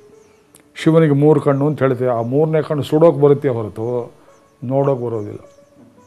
ಎರಡು ಕಣ್ಣು ಸಾಕು, ದೇವರು ಕೊಟ್ಟಿದ್ದು. ಮೂರನೇದು ನನಗಿರಲಿ ಅಂದರೆ, ಮುಕ್ಕಣ್ಣ ಮೇಲ್ಮೈಯಲ್ಲಿ ಚಲುವ ಕಾಣದ ಕುರುಡು. ಇಂಪೀರಿಯಲ್ ಆ ಮಹಿಮಿಕೆ ಹೊಟ್ಟು, ಹುರುಳಿಗಿಂತಲೂ ಹುರುಡು. ನಾನು ನಾನು ನಾನು, ಎಲ್ಲ ನನಗಿಲ್ಲ ನನಗಿರಲಿ. ಭಾರತ ನನಗಿರಲಿ. ಗೋವಾ ನನಗಿರಲಿ. ಚೈನಾ ನನಗಿರಲಿ. ಜೀವಾಳ ಹಣ್ಣಾಗಿ ಉಳಿದುದಾಯಿತು ಮಣ್ಣು. ಪಾತಾಳದಲ್ಲಿ ಬಲಿ ಬೀಜ ಇನ್ನೂ ಉಂಟು. ಅಮೆರಿಕ ಅನ್ನೋದು ಉತ್ತರ ಅಮೆರಿಕ, ದಕ್ಷಿಣ ಅಮೆರಿಕ ಎರಡೂ ಭಗವಂತನ ಪಾದಾಕೃತಿಯಲ್ಲೇ ಇದೆ ನೋಡಿ ಅದು. ದೇವರ ಹೆಜ್ಜೆ ಇದ್ದಾಗಿದೆ ದಕ್ಷಿಣ ಅಮೆರಿಕ ನೋಡಿ ಅದು. ಅಲ್ಲಿ ಬಲಿ ಬೀಜ ಇನ್ನೂ ಇದೆ, ಲೋಕವನ್ನು ಆಕ್ರಮಿಸಬೇಕು ಅನ್ನೋದು ಇವತ್ತು ಜಪಾನ್ದವರು ಆ ಕಡೆ, ಇಲ್ಲಿ ಅಮೇರಿಕಾದವರು ಕೊರತೆ ಕಾಣದ ನಿರೀತಿನಲ್ಲಿ ಬಾಳುವ ಬದುಕು. ಅವರಿಗೆ ಕೊರತೆಯೇ ಕಾಣ್ತಾ ಇಲ್ಲ, ಇನ್ನೂ ಬೇಕು ಬೇಕು ಅಂತಾರೆ. ನೋಡಿ ಅಂಕುರಿಸೀತು ರೂಢಿಯಲ್ಲಿ ಅದಕ್ಕಿದಕ್ಕೂ ಹರಿಹರರು ಕಾಯರೇ ಬಾಗಿಲನು. ಹರಿಹರರು ಕಾಯರೇ ಬಾಗಿಲನು. ಬಲಿಚಕ್ರವರ್ತಿಯ ಮನೆಯ ಬಾಗಿಲನ್ನು ಹರಿ ಕಾಯ್ದ. ಬಾಣನ ಮನೆಯ ಬಾಗಿಲನ್ನು ಹರ ಕಾಯ್ದ. ಹರಿಹರರು ಕಾಯರೇ ಬಾಗಿಲನು, ಅದು ನಂಟು. ಕಲಿಯುಗದಿ ಹುಲುಸು ಬೆಳೆ, ಆ ಕೃತಜ್ಞತೆ ಮಟ್ಟ. ನಾಡಿದ, ನಾಡಿದಿನ ಆಚೆಗೋ ಬಲಿಗ ಇಂದ್ರನ ಪಟ್ಟ. ಅಲ್ಲಿಯವರೆಗೆ ಇಂದ್ರ ಬಲಿ ಪಟ್ಟ, ಯಾತನೆಯನ್ನು ಪಟ್ಟ. ಇದು ಅನೇಕ ಅರ್ಥಗಳನ್ನುಳ್ಳಂಥ ಒಂದು ದಿವ್ಯ ಕವನ. ಇಂಥದ್ದು ನೂರಾರು ಬರೆದಿದ್ದಾರೆ. ಸತ್ಕುರ್ವತಾಂ ತವ ಪದಂ ಚತುರಾನನತ್ವಂ. ಯಾರು ಪರಮಾತ್ಮನ ಪಾದವನ್ನು ತೊಳೆದರೋ ಅವನಿಗೆ ಬ್ರಹ್ಮ ಪದವಿ ಸಿಕ್ಕಿತು. ಪಾದೋದ ಕಂಚ ಶಿರಸ ವಹತಾಂ ಶಿವತ್ವಂ. ಗಂಗೆ ತಂದ ಭಗೀರಥ ಶಿವನಿಗೆ ಆ ಶಾಪಮೋ ಏಕತ್ರ ವಿಕ್ರಮಣ ಕರ್ಮಣಿ. ತದ್ವಯಂತೆ ಒಂದು ಪಾದ ನೀಡಿದ್ರಿಂದ ಎರಡು ವಿಕ್ರಮಣ ಆಯಿತು. ಒಂದು ಕಡೆಯಲ್ಲಿ ದೇಹಳ್ಯಧೀಶ ಯುಗಪತಿ ಪ್ರತಿತಂ ಪೃಥಿವ್ಯಾಂ. ಅಂದರೆ ಬಲಿಚಕ್ರವರ್ತಿಯ ಹೃದಯದಲ್ಲಿ ಅವನನ್ನುಳ್ಳತ್ತು ಅಂತ ಆಳ್ವಾರರು ತಲೆ ಬಗ್ಗಿದ ಅಂದರೆ ಏನರ್ಥ? ಹೃದಯದಲ್ಲಿ ಲಜ್ಜೆಪಟ್ಟ, ಅದು ಬೇಕಾಗಿತ್ತು. ಅಹಂಕಾರ ಇದ್ದವನಿಗೆ ಲಜ್ಜೆ ಪಂಟು, ಲಜ್ಜೆ ಅನ್ನೋದು, ಅಯ್ಯೋ, ಕೊಡುವುದಕ್ಕೆ ನನ್ನಲ್ಲಿ ಏನಿಲ್ಲವಲ್ಲ? ನಾನು ಎಲ್ಲ ಕೊಡಬಲ್ಲೆ ಎನ್ನುವುದು ಕೊಡುವುದಕ್ಕೇನು ಉಳಿಲಿಲ್ವಲ್ಲ? ಒಂದು ಪಾದ್ಯರೆಲ್ಲ ಅಳೆದು ಬಿಟ್ನಲ್ಲ ಅನ್ನುವ ಅಕಿಂಚನತ್ವ. ನನ್ನಲ್ಲಿ ಏನೂ ಇಲ್ಲ ಅನ್ನುವುದು ಶರಣಾಗತಿ ಭಾವ ಉಂಟಾಯಿತು. ಅದನ್ನು ಈ ಪೈ ಒಂದು ಚಿತ್ರದಲ್ಲಿ ತೋರಿಸಿದ್ದಾರೆ. ಅದನ್ನು ಬೇಕಾದರೆ ತೋರಿಸೋಣ ನಿಮಗೆ ಚಿತ್ರವನ್ನು ಕೂಡ. ಅದನ್ನು ಇನ್ನೊಂದು ಕವನ ಸಂಕಲನದಲ್ಲಿ, ಗರಿ ಸಂಕಲನದಲ್ಲಿ ಬೇಂದ್ರೆ ಅವರು ಎಲ್ಲಿಂದ ಅದು ಎಂಥ ಚಿಮ್ಮುವ ಪ್ರತಿಭೆ ನೋಡಿ. ನಾವು ಗಣಿತಶಾಸ್ತ್ರಜ್ಞ, ಅವರು ಒಂದು ವಿಷಯವನ್ನು ಹೇಳ್ತೇವೆ. ಚತುರ್ಮುಖ ಸೌಂದರ್ಯ ಅಂತ ಬಂದಿದ್ದ ಹೆಸರು. ಇಂಗ್ಲೀಷ್ನಲ್ಲಿ ಗಣಿತದಲ್ಲಿ ಪೈ ಅಂತ ಒಂದು ಅಂಕಿ ಬರೀತೇವೆ ಟ್ವೆಂಟಿ ಟು ಅಪಾನ್ ಸೆವೆನ್, ಇಪ್ಪತ್ತೆರಡು. ಅದನ್ನು ಏಳರಿಂದ ಭಾಗಿಸಿದರೆ ಈ ಅಂಕಿಗೆ ಗ್ರೀಕರಲ್ಲಿ ಪೈ ಅಂತ ಒಂದು, ಅವರ ಅಕ್ಷರಮಾಲೆಯಲ್ಲಿ ಪೈ ಅಂತ ಒಂದು ಅಕ್ಷರ. ನಾವು ಮೈಸೂರು ಕಡೆಯವರು ಪೈ ಅಂತೀವಿ. ಧಾರವಾಡದ ಕಡೆಯವರು ಪಾಯ್ ಅಂತಾರೆ ಅದನ್ನು. ಅದನ್ನು ಕುರಿತು ಪಾಯಕ್ಕೆ ಯಾವ ಪಾಯ ಅಂತ ಒಂದು ಪದ್ಯವನ್ನು ಬರೆದಿದ್ದಾರೆ ಬೇಂದ್ರೆಯವರು ಪಾಯಕ್ಕೆ ಯಾವ ಪಾಯ? ಪಾಯ ಅಂತ ಬರೆದ್ರೆ ಕನ್ನಡದಲ್ಲಿ ಪಾಯ ಅಂತ ಅರ್ಥವಾಗುತ್ತೆ. ಪಾಯ ಅಂದರೆ ತಳಪಾಯ ಅಂತ ಅರ್ಥ. ಎಲ್ಲವನ್ನೂ ಅಳೆದ ವಿಕ್ರಮನಿಗೆ ಯಾವುದು ಆಶ್ರಯ ಇತ್ತು ಪಾದಕ್ಕೆ? ಅದೇ ಎಲ್ಲಕ್ಕೂ ಆಧಾರವಾಗಿದೆ. ಅದಕ್ಕೆಲ್ಲಿಂದ ಆಧಾರ ತೊಗೊಂಬರ್ತೀರಿ ಅಂತ ಒಂದು ಅರ್ಥ ಪಾಯಕ್ಕೆ ಯಾವ ಅಪಾಯ ಅಂತ ಸೇರಿಸ್ಕೊಂಡು ಹೋದಿದ್ರೆ ಅದು ಅಪಾಯವಿಲ್ಲದ ಪಾದ ಅಂತ ಒಂದು ಅರ್ಥ ಅದನ್ನು ನಾವು ಗಣಿತದಲ್ಲಿ ಎರಡು ಗೆರೆ ಹಾಕಿ ಮೇಲೆ ಒಂದು ತಲಕೋಟು ಬರೆದ್ರೆ ಹೇಗಿರ್ತದೆ ಅಂತ ನೋಡಿ ಈ ಚಿತ್ರವನ್ನು ಕೊಡ್ತಾರೆ ಬೇಂದ್ರೆಯವರು ಆ ಚಿತ್ರವನ್ನು ಆಮೇಲೆ ತಗೊಳ್ಳಿ. ಅದರಲ್ಲಿ ಎರಡು ಕಂಬದ ಮೇಲೆ ಒಂದು ತಲೆಯು, ಮೇಲೆ ಕಾಲು ತಳೆಗೆ ಕಲೆಯು ವಾಮನನು ಬಲಿಯು, ಪಾತಾಳದಲ್ಲಿಯೂ ಕಲಿಯೋ ಕಲಿಯು. ತ್ರಿವಿಕ್ರಮೋ ವಿಷ್ಣು ಶಿಪಿವಿಷ್ಟ ಓಂ ವಿಷ್ಟೋಘವಿಷ್ಟ ಹೃದಯಾವಿಷ್ಟ ಸ್ಥಳೋ ವಿಶಿಷ್ಟ, ಇಷ್ಟೆ. ಇದು ಸಾಮಾನ್ಯರಿಗೆ ಯಾಕೆ ಅರ್ಥ ಆಗೋದಿಲ್ಲ ಅಂದರೆ ಉಪನಿಷತ್ತಲ್ಲಿ, ಮುಂಡಕೋಪನಿಷತ್ತಲ್ಲಿ ಮಧ್ಯೆ ತಿಷ್ಠತೆ ವಾಮನ. ಹೃದಯ ಮಧ್ಯದಲ್ಲಿ ಅತ್ಯಂತ ಕುಬ್ಜನಾಗಿ ಕೊಳ್ಳನಾಗಿದ್ದಾನೆ ಭಗವಂತ ಅಂತ ಹೇಳಿದ್ದೆ. ಅದು ವಾಮನ ಶಬ್ದ ಅಲ್ಲಿ. ಅವನು ತ್ರಿವಿಕ್ರಮ ಆಗಬೇಕಾದ್ರೆ? ಎಲ್ಲರಲ್ಲೂ ದೇವರಿದ್ದಾನೆ. ಶಕ್ತಿ ಅದು ಕಾಣೋದಿಲ್ವಲ್ಲ ಅಂದರೆ ಉಪಾಸನೆ ಮಾಡುವ ಮಾರ್ಗದಿಂದ ಒಂದು ಕಿಡಿಯನ್ನು ಊದಿ ಬೆಂಕಿ ದೊಡ್ಡದು ಮಾಡುವ ಹಾಗೆ ಸ್ತೋತ್ರದಿಂದ, ತ್ಯಾಗದಿಂದ, ಮೌಲ್ಯಗಳಿಂದಲೇ ನಾವು ವಾಮನ ತ್ರಿವಿಕ್ರಮ ಮಾಡಿದರೆ ಲೋಕದಲ್ಲಿ ತ್ರಿವಿಕ್ರಮ ಶಕ್ತಿ ಕಾಪಾಡುತ್ತೆ. ವಾಮನ ಶಕ್ತಿ ತ್ರಿವಿಕ್ರಮ ಶಕ್ತಿಯಾದಾಗ ಬಲಿ ಪಾತಾಳವನ್ನು ಮುಟ್ಟುತ್ತಾನೆ. ಇಲ್ಲದಿದ್ದರೆ ಬಲಿಯಿಂದ ಲೋಕಕ್ಕೆ ಕ್ಷೇಮ ಇಲ್ಲ. ಇದು ವಾಮನಾವತಾರದ ಅರ್ಥ.